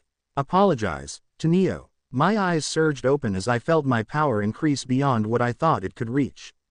I looked over myself, seeing that I was now completely golden in color, and had what looked like a pair of horns on my head, along with a strange intricate design for a seal on my stomach. So this is your power, I mused, smirking at the Kyuubi as it glared at my hatefully. My eyes lit up as I jumped away, knowledge of a sealing technique entering my mind. I placed my fingers onto my stomach where the seal was, before turning it. Suddenly, large pillars slammed down on each of the Kyuubi's tails, then its body, and then its neck as it was pulled back behind the gates of the seal once again. This is, the Six Paths. It barked out, eyes wide in shock. Goodbye, Kyuubi, I told it with a smirk on my lips as I turned away, willing my new form away as I began to leave. I'll come see you again soon, trust me on that, I waved my hands and the gates of the seal slammed shut, though I ignored the beast's protests and curses towards me. Slowly, I felt my eyes open to the black abyss as I slowly sat up, grinning lightly as I could feel the power I'd stolen swirling around inside of me. Yes, Ruby wouldn't know what hit her. Line break. V. Planning. As he watched Orochimaru fall to the ground, dead, Naruto couldn't help but feel satisfaction run through his body. He'd long had it out for this snake, being the core of all his issues. Had he not placed that damnable seal on the Uchiha, then perhaps he'd still have a home in Konoha. It might not have mattered to him anymore, but the feeling of extracting revenge on the snake filled him with joy. Raising his arm, he sliced Orochimaru's head clean off with the side of his hand. He then sealed the body and head into separate storage scrolls. Who knew what the Sannin had done with his body, after all? Best to have it sealed up so it couldn't cause him any more issues, years down in Tartarus taught him to be very cautious. Speaking of which, he'd better grab Sasori's head and body too. All done then, he heard Percy's voice come from behind. Glancing back, he saw that the demigod's hair was a shimmering white and his eyes were a wine red, glistening in amusement. Kabuto was a joke, Riptide barely had a fill for battle up against him. One slash, that was all it took. He's gone from all creation now, he won't be bothering us again. Perfect, Naruto smirked. I knew I could count on you to deal with him. While he wished he could have handled Kabuto by himself, he'd left Kabuto to Percy since he trusted the demigod to make sure the slippery servant of the snake didn't escape just like he was prone to with his master, the teen was his right-hand man after all. Percy just shrugged, twirling Riptide lightly. Let's just hope Pinecone Face and Shadow Cat herself didn't kill any of the Konoha shinobi. We only killed the pale one who was sneaking off towards Naruto and the pedos fight, Thalia said as she walked into the clearing, Blake beside her. My only regret is that Naruto didn't let us kill more of them. Now, now, Thalia, Naruto chided with amusement in his voice.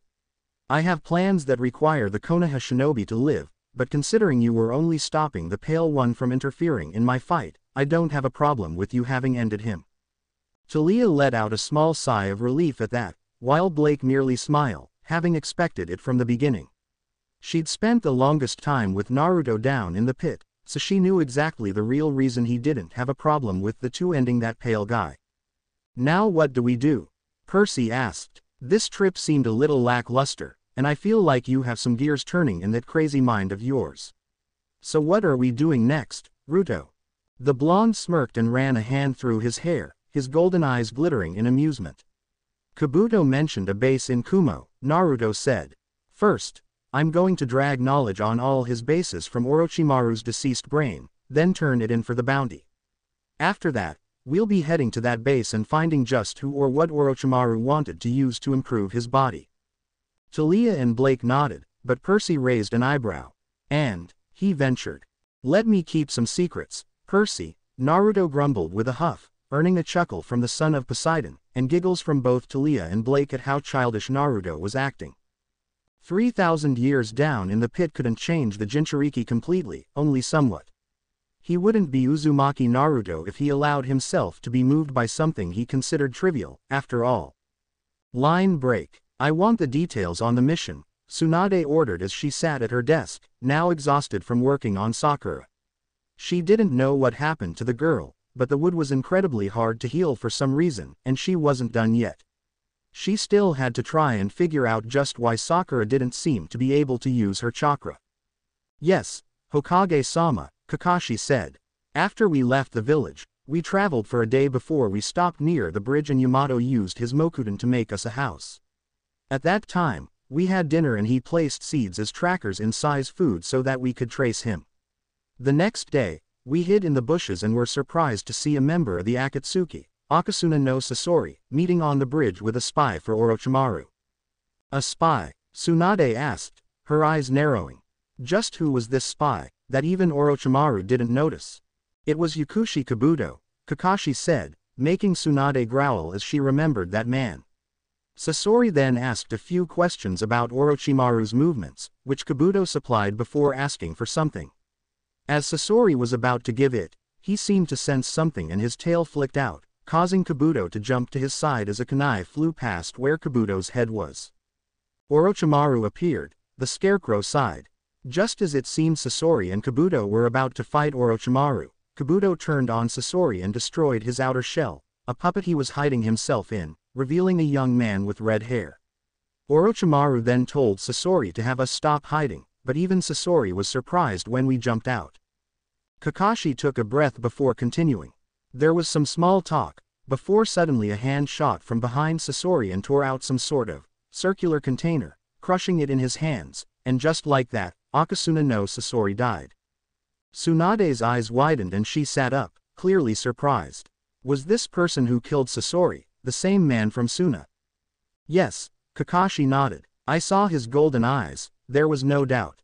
Then three people appeared at his sides, a boy with black hair and green eyes, a girl with black hair and blue eyes, and another girl with long black hair and amber eyes. In order, they were named Winter, Autumn, and Gamble. He then ordered Autumn and Gamble to deal with us, while telling Winter to handle Kabuto, saying he'd deal with Orochimaru himself. Instantly, Autumn and Gamble jumped towards us, and Autumn used a Raiton jutsu I'd never seen before. She somehow made a dome of lightning all around us that wouldn't allow us to escape, of that I'm certain. Then Gamble began to face Sasuke in combat, while Yamato and I tried to face Autumn. Yamato trapped her with his Mokuton but she destroyed the cage with lightning with ease. That's when Sakura tried to attack but. Tsunade's eyes narrowed. But what? She stabbed Sakura with her spear, Kakashi told her. And then, Sakura seemed to be unable to heal her wounds with chakra, unable to use it at all, so I ordered a retreat. Autumn was reluctant, but Gamble was stern and told her to release us. It was at that point Autumn vanished the dome and allow us to escape. It was only a short while later we heard an explosion and noticed Sai wasn't with our group, so we concluded he must have been under Danzo's orders and was killed by someone before he could fulfill them. We rushed here as fast as we could so you can heal Sakura. In other words, the mission was a failure. The blonde Hokage took a few deep breaths as she processed just what Kakashi had said. Winter, Autumn, and Gamble. What about the cloaked man? She asked. Did we get a name? Sasuke stood forward. I heard Winter refer to him as Phoenix.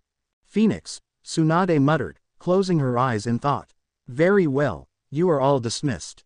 Hi, Hokage-sama, Kakashi, Yamato and Sasuke said as one before they all left the room, leaving Tsunade to think. And think she did. They were unusual names for people to have, Winter, Autumn, Gamble, and Phoenix. Almost like code names, however she doubted that were the case. Shinobi stopped being so stealthy a long time ago. With a grunt, she began to write a message for a carrier bird. She had four people to add to the bingo book. Line break. Neo hummed happily as she sat on her throne in the castle, a smug grin on her face. Call her old-fashioned, but sitting on a throne really helped in making her feel superior to everyone else around her. It helped in making everyone know she was the alpha among women, and nobody else would ever take that precious spot from her no matter what they did. I wonder how my foolish husband's mission is going, she mused, putting a finger on her chin as she thought about just how Naruto was doing. She'd no doubts in her mind that he'd skin that snake, hell she might even get a nice new purse from it, scratch that, she didn't want a purse made from a pedophile's skin. Speaking of which, we really should get to clothes shopping soon, she mused, a grin on her face. She may not have like a woman normally did, but she loved shopping, if only because Naruto's look of horror at the idea made her shiver with delight. Lady Neo, a voice said, causing said girl's ears to perk up as she turned to look at just who was calling for her. And she barely suppressed a wolf whistle at the sight of the woman. Long blonde hair that had light curls in it, almost rivaling her husband's hair in beauty, stormy gray eyes that seemed to have a thousand thoughts running through them at once. A perfect face that any man could fall for, and wearing white robes that modestly covered her body, and yet showed herself off at the same time. Neo nodded politely at her own and her husband's advisor, Athena.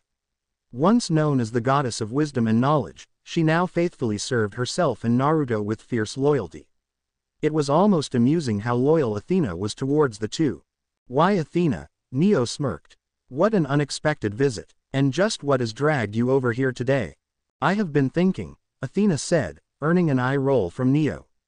Athena was always thinking, and I was wondering if, Perhaps, we might have room for a few more areas within our mighty kingdom for construction.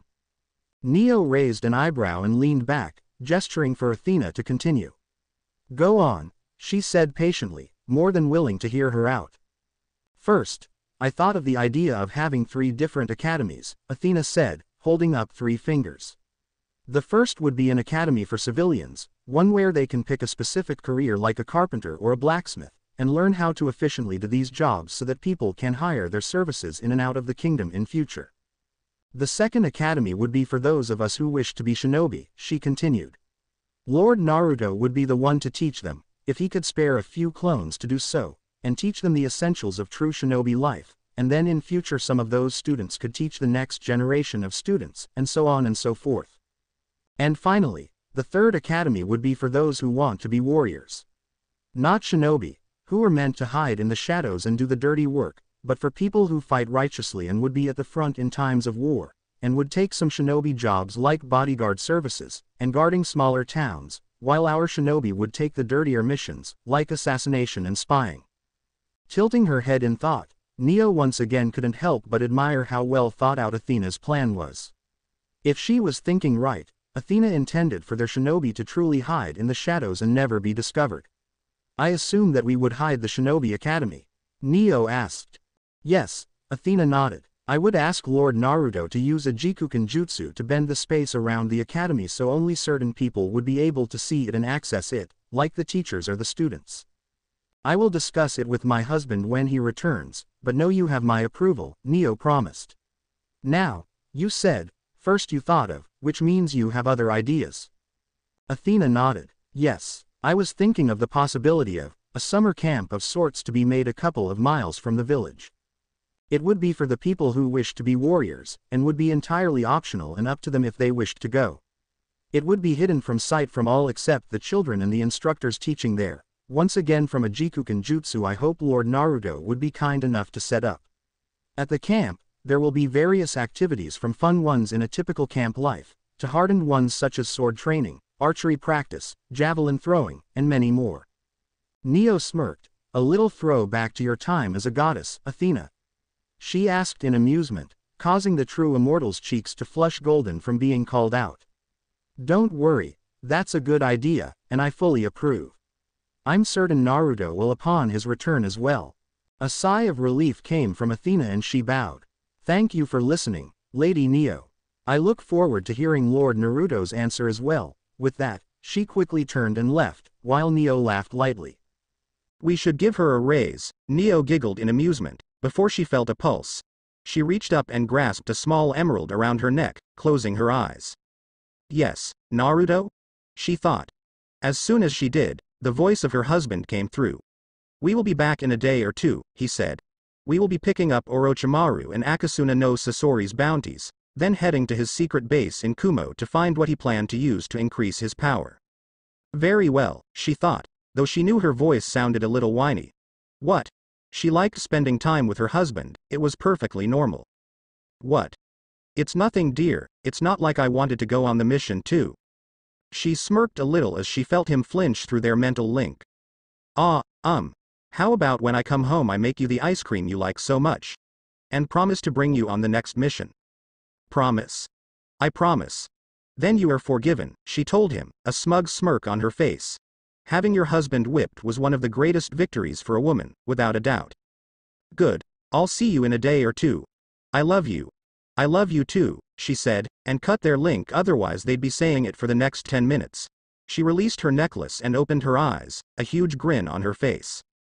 She hummed happily, thinking about how good the ice cream would be, while she idly wondered just what the next mission would be. She hoped she got to kill someone. Far away, a religious nut in a black cloak with red clouds on it sneezed loudly, earning an annoyed grunt from his money-obsessed teammate. Line break, so, you actually came, Ruby said to me, her silver eyes narrowed on my form as she held her large scythe, crescent rose, if I remembered correctly. I thought for sure you would run away like a coward, but it appears you are more brave than I thought, or perhaps you are foolish. Well, who knows? I shrugged, stretching a little as I stared at her weapon without concern. I knew she was confident in her abilities, but I was confident in mine as well. And there was no way I was going to let myself be defeated. Before we begin, is there a way to make our bet binding? I asked curiously. I didn't want to risk her weaseling her way out of the bed. Ruby's eyes narrowed at me. There is, it is called swearing on the river Styx. Any oath sworn on it is completely binding. If you break it, you die. Or you suffer a fate worse than death. Then let's swear on it, I shrugged without a second care. I swear on the river Styx that if I lose this fight, I will fight in the arena for 300 years. Instantly, I heard a loud boom of thunder, causing everyone's eyes to widen at how carelessly I made such a serious oath. What? It wasn't like I was not going to do it if she won, I was a man of my word. Gritting her teeth, Ruby spoke up. I swear on the river Styx to abandon the arena and help Naruto Uzumaki and Blake Belladonna search for the rest of my teammates until we find them.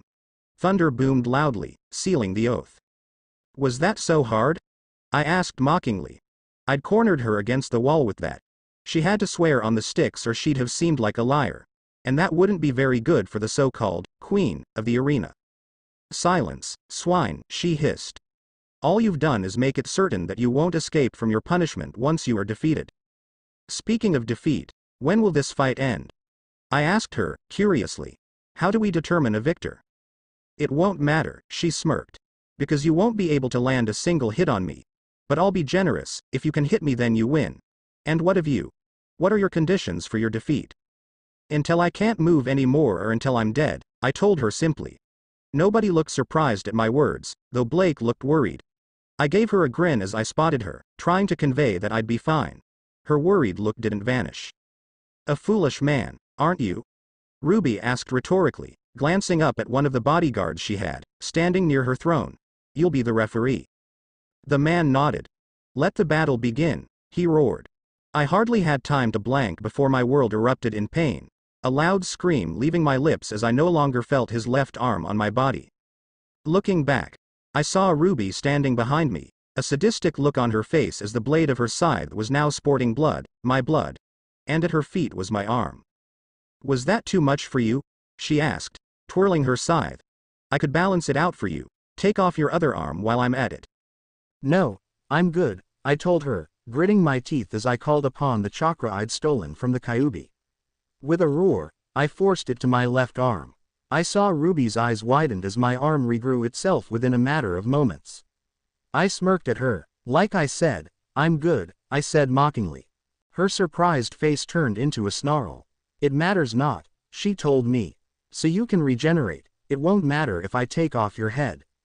You won't get another chance, I told her coldly, as I called upon the beast's chakra once more, causing my form to change to the one I'd taken in my mind once I'd taken its chakra. Man, I can't get over the rush of power I get in this form, I smirked. Ruby's eyes narrowed, so you're gold now, so what, it won't change the fact that I. That you what, I asked as I was suddenly standing in front of her, holding my fist to her face.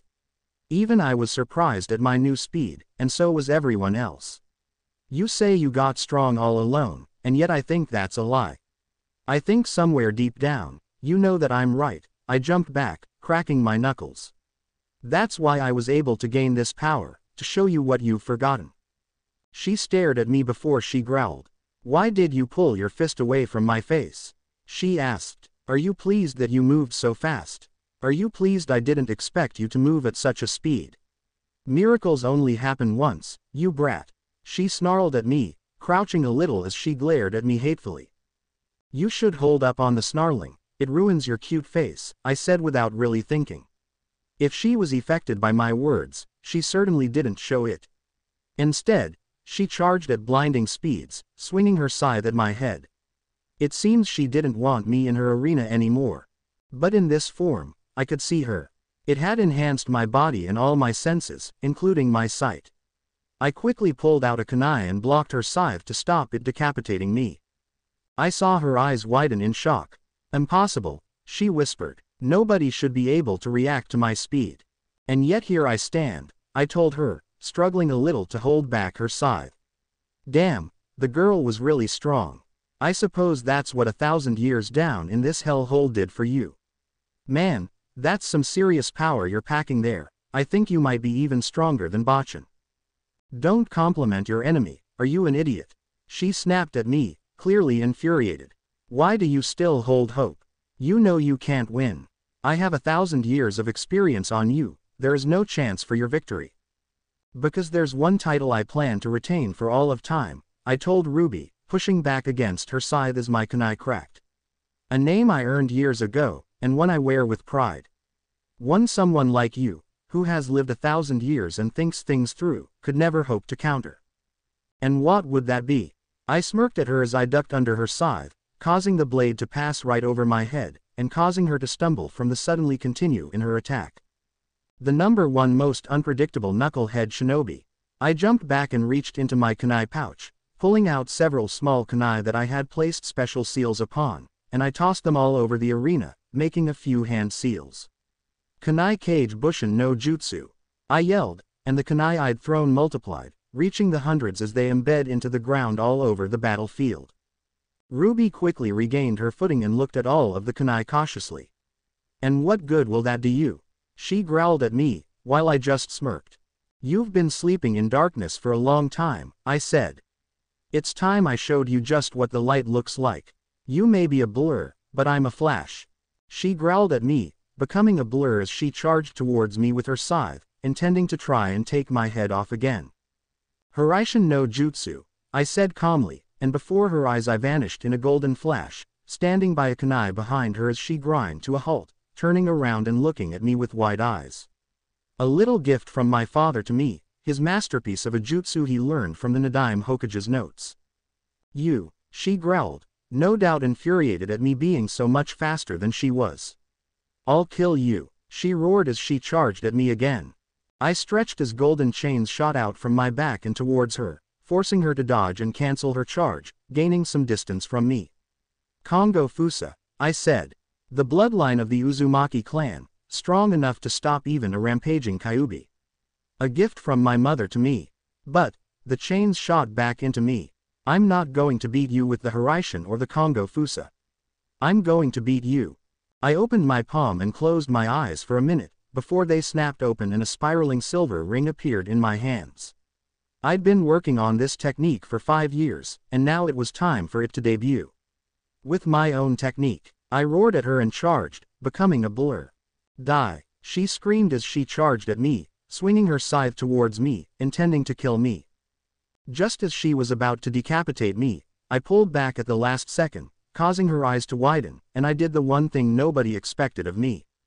I threw the ring at her and yelled, Reizenwa. As it reached Ruby's stumbling form, it moving up and lowering itself around her body, before it tightened, causing her arms to press against her sides. WH what is this? She screamed as she dropped Crescent Rose.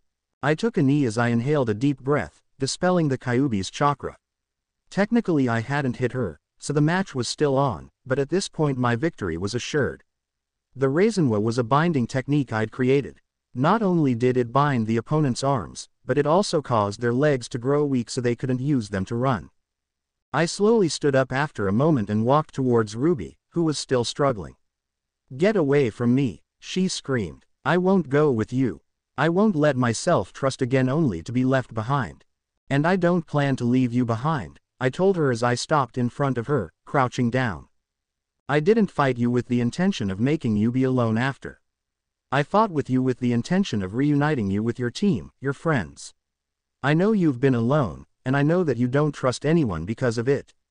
But it's time for you to step out of the shadows and into the light, Ruby.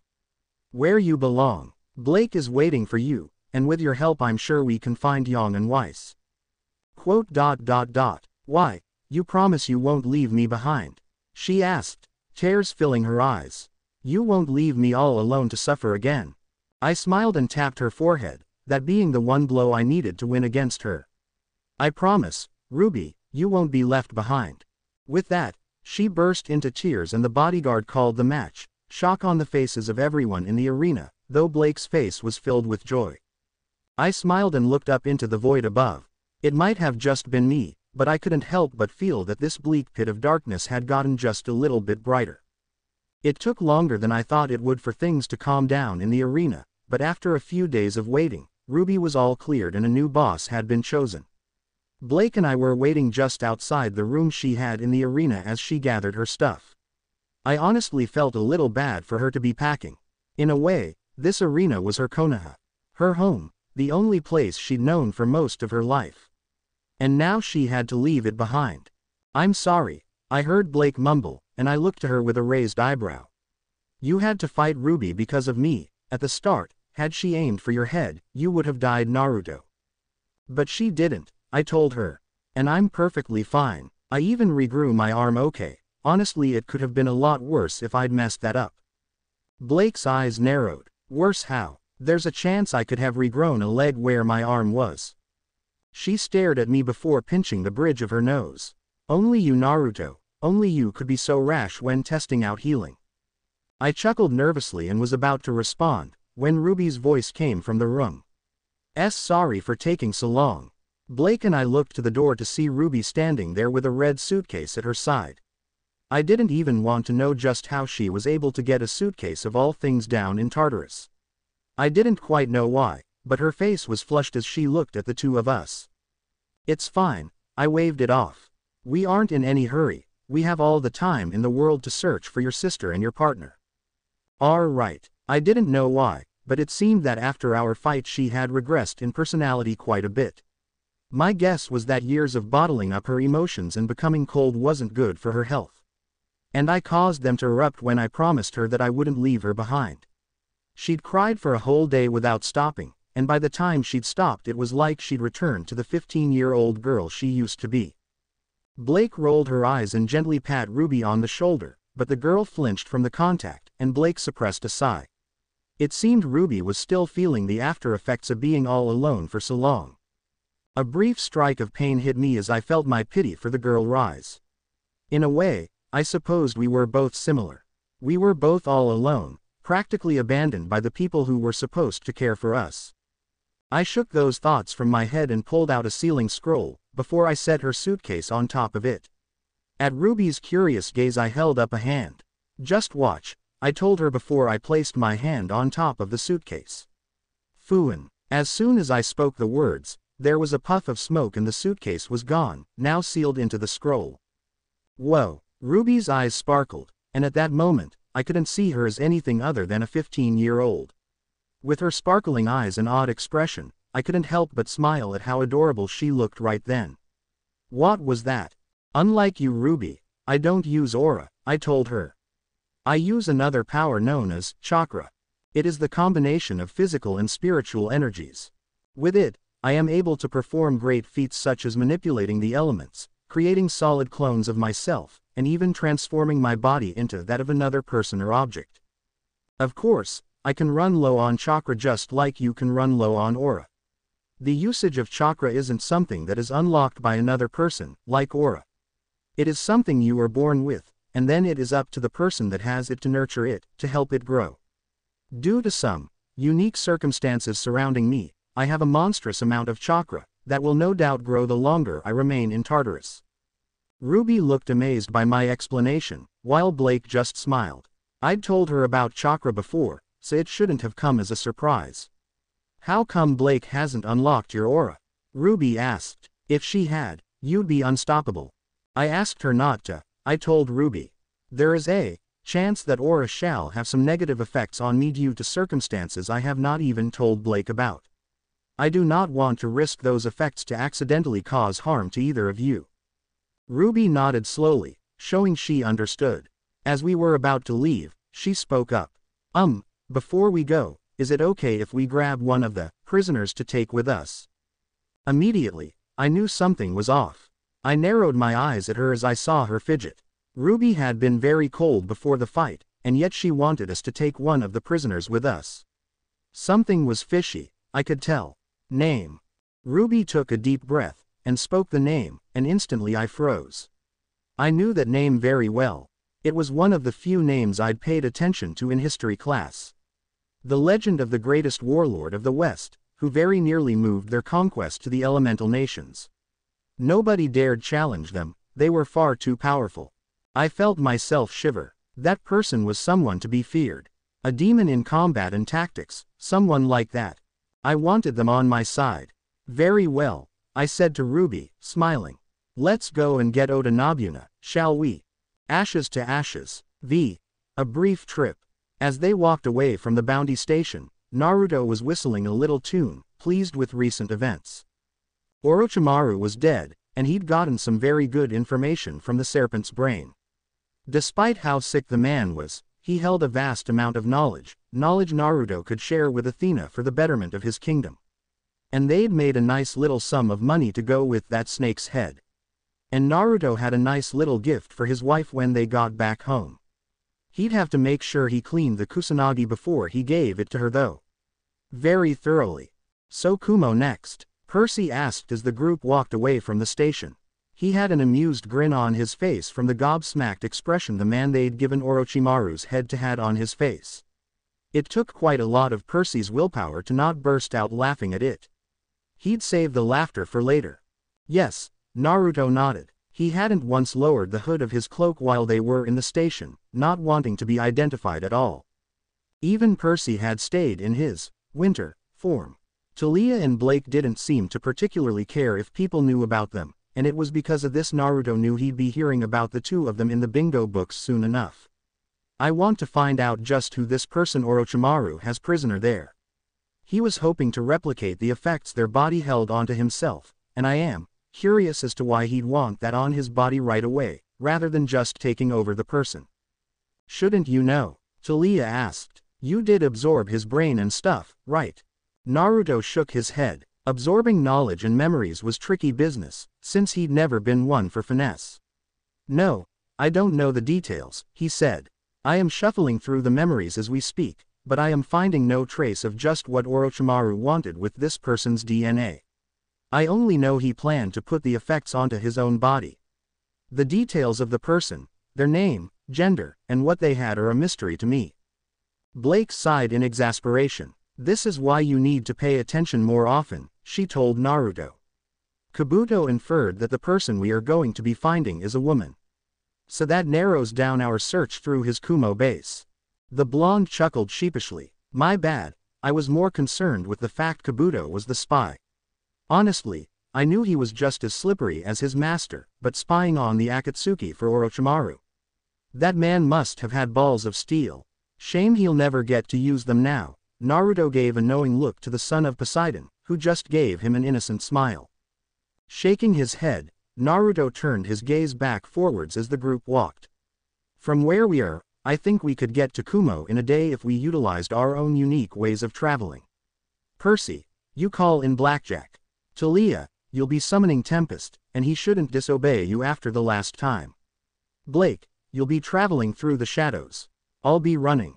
None of them questioned it when Naruto said he was going to be running. Even without utilizing Kyuubi's cloak, Naruto was a monster when it came to speed. Unbidden, the memory of the day Naruto encountered a group of monsters while he was not in a good mood came to Blake's mind. She visibly shuddered. It wasn't a fight that day. She'd never seen such fury in Naruto's eyes since that day, and she never wanted to again. Blake was not afraid of many things. But an angry Naruto was without a doubt at the top of the list of things she was afraid of. Where will we be meeting up? Percy asked Naruto. He wanted a solid location to meet up with the group so none of them got lost. Gods knew it had happened before, and he wasn't eager for a repeat. By Kaminari no Kuni's border, we can all head to Kumo from there, Naruto told them. But we won't be going into the village itself. Instead, we'll be heading to the right of it and a little inland, that's where Orochimaru has his secret base. Not a bad thought actually, having it so close. A quick henge into a snake and he could slither in without any suspicion, nobody would suspect that he'd have a base right by Kumo. Keep your friends close, and your enemies closer. Good plan, but cocky, Thalia spoke up, getting Naruto to nod. Now let's go, he told them. We are losing daylight, and I'd like to be at the border by nightfall if possible. Break. Instantly, the group dispersed. Within a few minutes, Percy was flying on a black-winged horse towards Kumo, while Thalia was beside him, on a horse made of storm clouds. Blake was nowhere in sight as she traveled through the shadows. And Naruto. He was sitting at the border of Kumo already, waiting for the group to arrive, a smirk on his lips. Perhaps I should have ran a little slower, he mused aloud. It wasn't his fault everyone else was so slow. Knowing they were going to take quite a while, Naruto closed his eyes and meditated, allowing himself to fall into the depths of his mindscape. It was the job of the warden to check on the prisoner every so often, after all. Ashes to ashes, how long since his last visit here? Naruto walked through the halls of the mindscape, his eyes glistening with twisted ambitions as he walked down the flooded hallway. Over time, his mind had stopped being just a sewer. The water ran a clear blue all over, except in one place. In that one place, the water was filthy, and horrid, as it should be. Turning a corner, he saw the detestable water and walked through it, his eyes glistening with malicious glee. He remembered it, the foul beast that had taken his life from him, his family, he never forgot. He would never forget. As he walked, a pair of large, bronze gates came into view. They used to be iron, but Naruto had decided bronze suited this place much more nicely. Peeking into the cage, he smirked as he saw the large, orange fox waiting for him. But the crimson eyes that looked back at him were empty, without emotion. It was as if they'd been drained of all life. When he'd found the time, he'd came back, and made the beast suffer for its transgressions against him. Still holding out on the naive hope you'll be permitted to remain a fox, Naruto sneered, his eyes narrowing at the large orange fox, that flinched in fear at the tone. When I give you an order, Beast, I expect you to follow it to the letter. Now are you going to attempt to disobey me again? You know what happened last time. What was more humiliating than making it what the beast never wanted to be? His loyal pet, that would never dare turn against its, or rather, her master. The Kyuubi bowed its head submissively. Why, yes, my master, it said in a soft, defeated tone, and Naruto continued to walk towards the cage as the fox. As he did so, the fox began to shrink in size, no longer the size of a mountain, no longer the size of a tall tree, no longer the size of the house, now the size of a human, with a human shape. In all her attempts to corrupt him and make his life miserable, Kyuubi had forgotten one, crucial thing. Uzumaki Naruto did not forgive any longer. And he would never forget either. She made his life hell. Standing before him now is a gorgeous girl with long orange hair that reached her waist, along with crimson eyes that flickered around nervously. She wore an orange kimono that reached her ankles, causing the bottom to be soaked in the disgusting sewer water. She looked at Naruto fearfully, her nine orange tails swaying behind her slowly. I, is master pleased with this form? And so he'd twisted her, he'd broken her. For all the legends about her power, all the warnings of how she caused destruction, Kyuubi, no, Kurama only had one purpose in life now. Yes, Naruto smirked as he reached the gates of the cage, his right eye turning from gold to a shimmering silver, causing Kurama to flinch back in fear. He grinned viciously, you forget your place, foolish Kitsune. I make all the rules here. Now, you know what your punishment will be if you attempt to return to that detestable form, right? To serve her master, Uzumaki Naruto, as his faithful pet for all of time. She took everything from him, and in turn he broke her down until she would never disobey him. Why yes master, Kurama whimpered, lowering her head. I I understand. Master is always correct, I, I am a filthy animal who is lucky master permits her to breathe. Indeed you are, Naruto smirked. While at Orochimaru's base, I shall have the mental link open. You will tell me about negative emotions being sensed. Comply, and you might actually get a meal. As he said this, the fox's eyes lit up with hope. Fail, he trailed off, his grin turning dark as his silver eyes shone brighter, causing the fox's face to once again fill with fear. And I shall remind you just why you fear this eye so much, are we clear? See, crystal clear, master, Kurama bowed her head submissively, unwilling to make eye contact. She might have been a demon, but she would not anger Uzumaki Naruto again. She had done so enough times to know that he only let her live for her power. It was a privilege for him to use her power. It was the reminder that she was there, waiting for him to return. Not out of love, or kindness. She waited out of fear that he would do away with her. I'm glad to see you aren't completely incompetent. He turned and walked away from the cage, eliciting a small sigh of relief from Kurama. Suddenly he stopped. But you must be punished for entering that foolish form without permission. He didn't need to look to know that horror had once again filled Kurama's expression. Holding his hand up, he snapped his fingers and grinned sadistically as the screams of agony began once again from Kurama, as she pleaded for him to forgive her and have mercy. He simply continued to walk away. He had no mercy for such a pathetic existence as the Kyuubi no Kitsune. Now, where are Orochimaru's memories? Ashes to ashes. After what could have been any length of time, Naruto's eyes slowly opened, and he immediately noticed he'd been meditating for a long time from how the sky looked. Compared to the shining sun, the sky was now dotted with stars and no longer such a bright blue. The moon shone brightly in the sky, but Naruto merely scowled at it and looked down, raising an eyebrow. Laying there with her head in his lap was Blake, a small smile on her face as she slept peacefully. No doubt she'd placed herself there during his meditation and waited for him to stop, before she ended up falling asleep herself.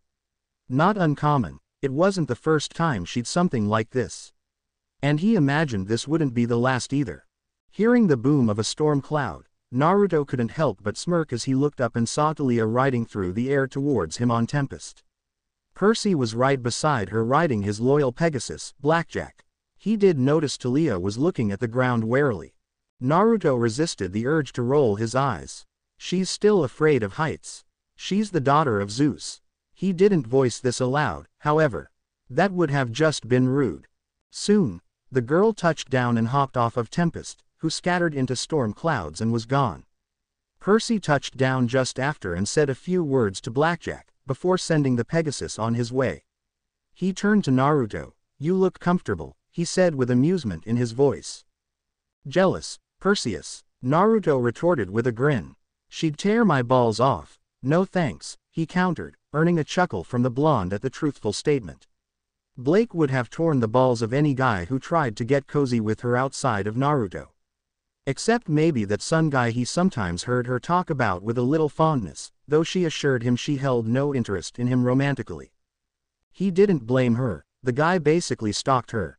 At least you know your place, water boy, Blake said as she sat up and yawned lightly, rubbing her eyes a little. I was having such a nice sleep and then Tempest woke me up. I would have woken you anyway, Naruto said as he slowly stood, stretching a little. It is time to head to Orochimaru's base in Kumo.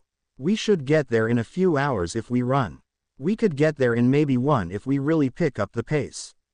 Let's go for one, Percy told Naruto. Don't know about you, but I could do with some sleep. What will we do when we get to the base? Find the captive and slaughter everyone else there. Or will we let them run free? We kill them all, of course, Naruto tutted. We can't have people spreading Orochimaru as dead before it comes up in the bingo books, now can we? It's a shame we can't go to Konoha. I'd love to see Tsunade's face when she hears that one of her former teammates is dead. Oh if only we had a camera, Thalia bemoaned. At least we can use electronics, since monsters don't seem to exist here, but honestly, how in the hell do you live without laptops? What about YouTube? Laptops will probably exist in about 10 years, Naruto waved it off. Now stop whining. He turned as he began to run, the group following behind him at good speeds, though they all knew he was consciously going quite slowly for them to keep up. Ashes to ashes. It took just under an hour to get to the base as it turned out, which Naruto was most pleased with discovering. The sooner they dealt with this, the better. Covering the ground, he opened a hidden door and descended underground, with his group of people following them. As soon as they touched the ground, he immediately followed Orochimaru's path through the base, having Percy cut the head off of anyone who tried to stop them.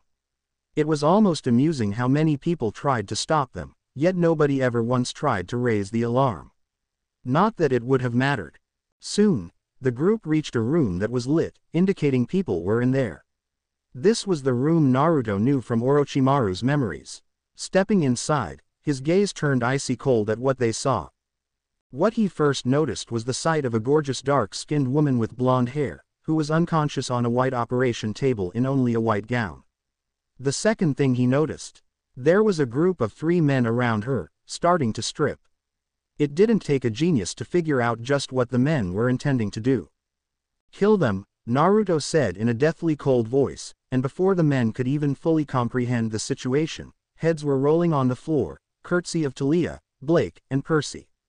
The blonde spat on the face of one of them, before he walked to the woman and placed his fingers on her neck, searching for a pulse. He was silent for a minute, before he spoke up. Alive, he announced to them. But she appears to be in a coma of sorts. We shall take her back with us to the kingdom really should get around to giving it an official name and have our healers look over and care for her. You three clear up the trash in this place. The three nodded and fled from the room as Naruto removed the various devices monitoring the girl. He lifted her up in his arms in the bridal position, and turned as he began to retrace his steps through the base. As he walked, he heard many screams and pleads for slaughter to stop. Naruto knew it wouldn't, none of the people here would leave alive, except his team and the woman he currently held in his arms. Taking a breath, he climbed up the ladder that led down into the base and was greeted by the night breeze. And there, he waited for the rest of his team to join him so they could return to the kingdom. He wanted to be surprised at what he had nearly seen happen. And seeing what he'd seen, he had to wonder, was this the first instance of something like this happening? Or had this happened before? Had someone dared to defile this woman while she was unable to defend herself? He would not have such a thing happening again. Naruto had committed his fair share of crimes against humanity, but he had never stooped as low as rape. Once he returned, he was going to make rape punishable by death. His golden eyes glowed maliciously, and the woman in his arms curled into his protective embrace. Uzumaki Naruto was not happy. And that was not a good sign for anyone who was on his shit list at that moment. Almost seeming to sense their imminent doom, various men and women shivered, a feeling of dread building in their stomachs. Ashes to ashes. As we walked through the cells in the arena, Ruby leading us, I heard people beg and pled to be released. However we simply ignored them and kept walking. I felt bad, there were many people here, no doubt some of them were innocent and were forced here for no reason. But I had no way of knowing who the truly innocent were, and who the vile scum were. Running a hand through my hair, I resisted the urge to sigh. We'd been walking for 10 minutes, and we were pretty deep in the cells of the arena now. Just how high a profile person is Oda San, Ruby? Very, she told me. We had to put her in the tightest security we could, and only brought her out to fight once a year. Plus, we are unable to understand her speech. She talks an entirely different language that I can't understand, nor one that any of us recognize. I nodded slowly to that. Truthfully, I only understood the language because of the Kyuubi, though I only discovered that recently. Apparently, it had knowledge of the language and sent it to me so I would be able to communicate with everyone. I hadn't even noticed I wasn't speaking my normal language until my second year with Blake. Then how the hell are we going to convince her we mean no harm? I asked Ruby. Pray, she offered, before having us all come to a stop. There she is. I followed Ruby's gaze and raised an eyebrow at just who I saw, feeling startled at Nobuna's appearance. She was a fairly young woman with a lean frame. She had a heart-shaped face with big brown eyes. Her hair was blonde, and quite long, however she had it tied up, in a messy fashion with a red ribbon. She had what seemed to be a pretty weird fashion sense. She wore a tiger skin wrapped around her waist, over a black hakama with yellow trim at the bottom, and white tabi with zori. She also wore green blue colored haori which she wore over only one shoulder. Did I mention that I could perfectly see her black bra? No. Well I could. Back again. Nobuna snarled at us, and my eyes widened as I realized I could understand her. She was quite literally speaking my language. Is it time for my yearly fight already, scum? I stepped forward, despite Ruby's protests as I addressed her in the same language she used. A pleasure to meet you, Oda Nobuna. Word of your power and conquest reached even the ears of my people in the elemental nations. It is an honor. I saw Nobuna's eyes widen as she looked at me, before she grinned. Ho, a shinobi from those lands. I would have gone to conquer all of you too, had I not been dragged into this pit. But how unusual, I never thought I'd find someone who spoke my language down here, let alone someone as handsome as you. I felt my cheeks flush, before I chuckled. You flatter me, Oh great warlord. Naruto, you understand her. Blake voiced from behind me, sounding surprised. Yes, her native tongue is the same one my people use, I spoke again in English, before switching back to Japanese. We are not here to make you fight, Nobuna. There has been a change in leadership of this arena, I am going to help the former queen and her comrade find their teammates while they were on the surface world. She suggested we bring you along. Hoping for the company. She asked with a flirtatious wink, however her words held an undertone that I would suffer if that was truly what I was after. Not in the way you are imagining, I told her. While you are very beautiful, I do not lust after your body. I want you to join us because I know of your prowess in battle, of the tactics you can use that can make a nation tremble. I won't lie, I have intentions of breaking out of this pit and returning to the surface world. I plan on destroying the pathetic place known as Konohagakure no Sato, for personal reasons. When that time comes, I want the goddess of victory on my side. Nobuna observed me for a while, before she burst out laughing. You have quite a silver tongue, boy. And your flattery is quite good too. Goddess of victory, brilliant. Just answer one question, and your answer will affect my choice. Ask away then. Just what did the place known as the strongest shinobi village do to you to earn your hatred? I clenched my fist and my jaw tightened as I looked at her. They treated me like a monster, they called me demon.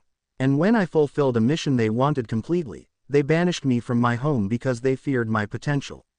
And I intend to give them good reason to have feared me. The blonde smirked at me as she stood up slowly. Determination. I like that in a man. And being treated like a demon, Perhaps we are both different kinds of monsters then. I agree to your terms, boy. I'll aid you for as long as you shall have me. Your name. Uzumaki Naruto. I told her, before turning back to Ruby and Blake, who stared at me with anticipation. I switched to English. Open the gate, I told Ruby. She's coming with us. Ruby stepped forward and did just that, all while I knew that I'd just gained a powerful ally. One who I could trust with my life. Unbidden, I thought of another girl who I once felt I could trust like that. I clenched my fist at the thought. That was right, I still had to find Neo at some point and apologize to her. And I would apologize and earn forgiveness. No matter what it cost me. The end. Remember to subscribe and like this video. See you in the next video.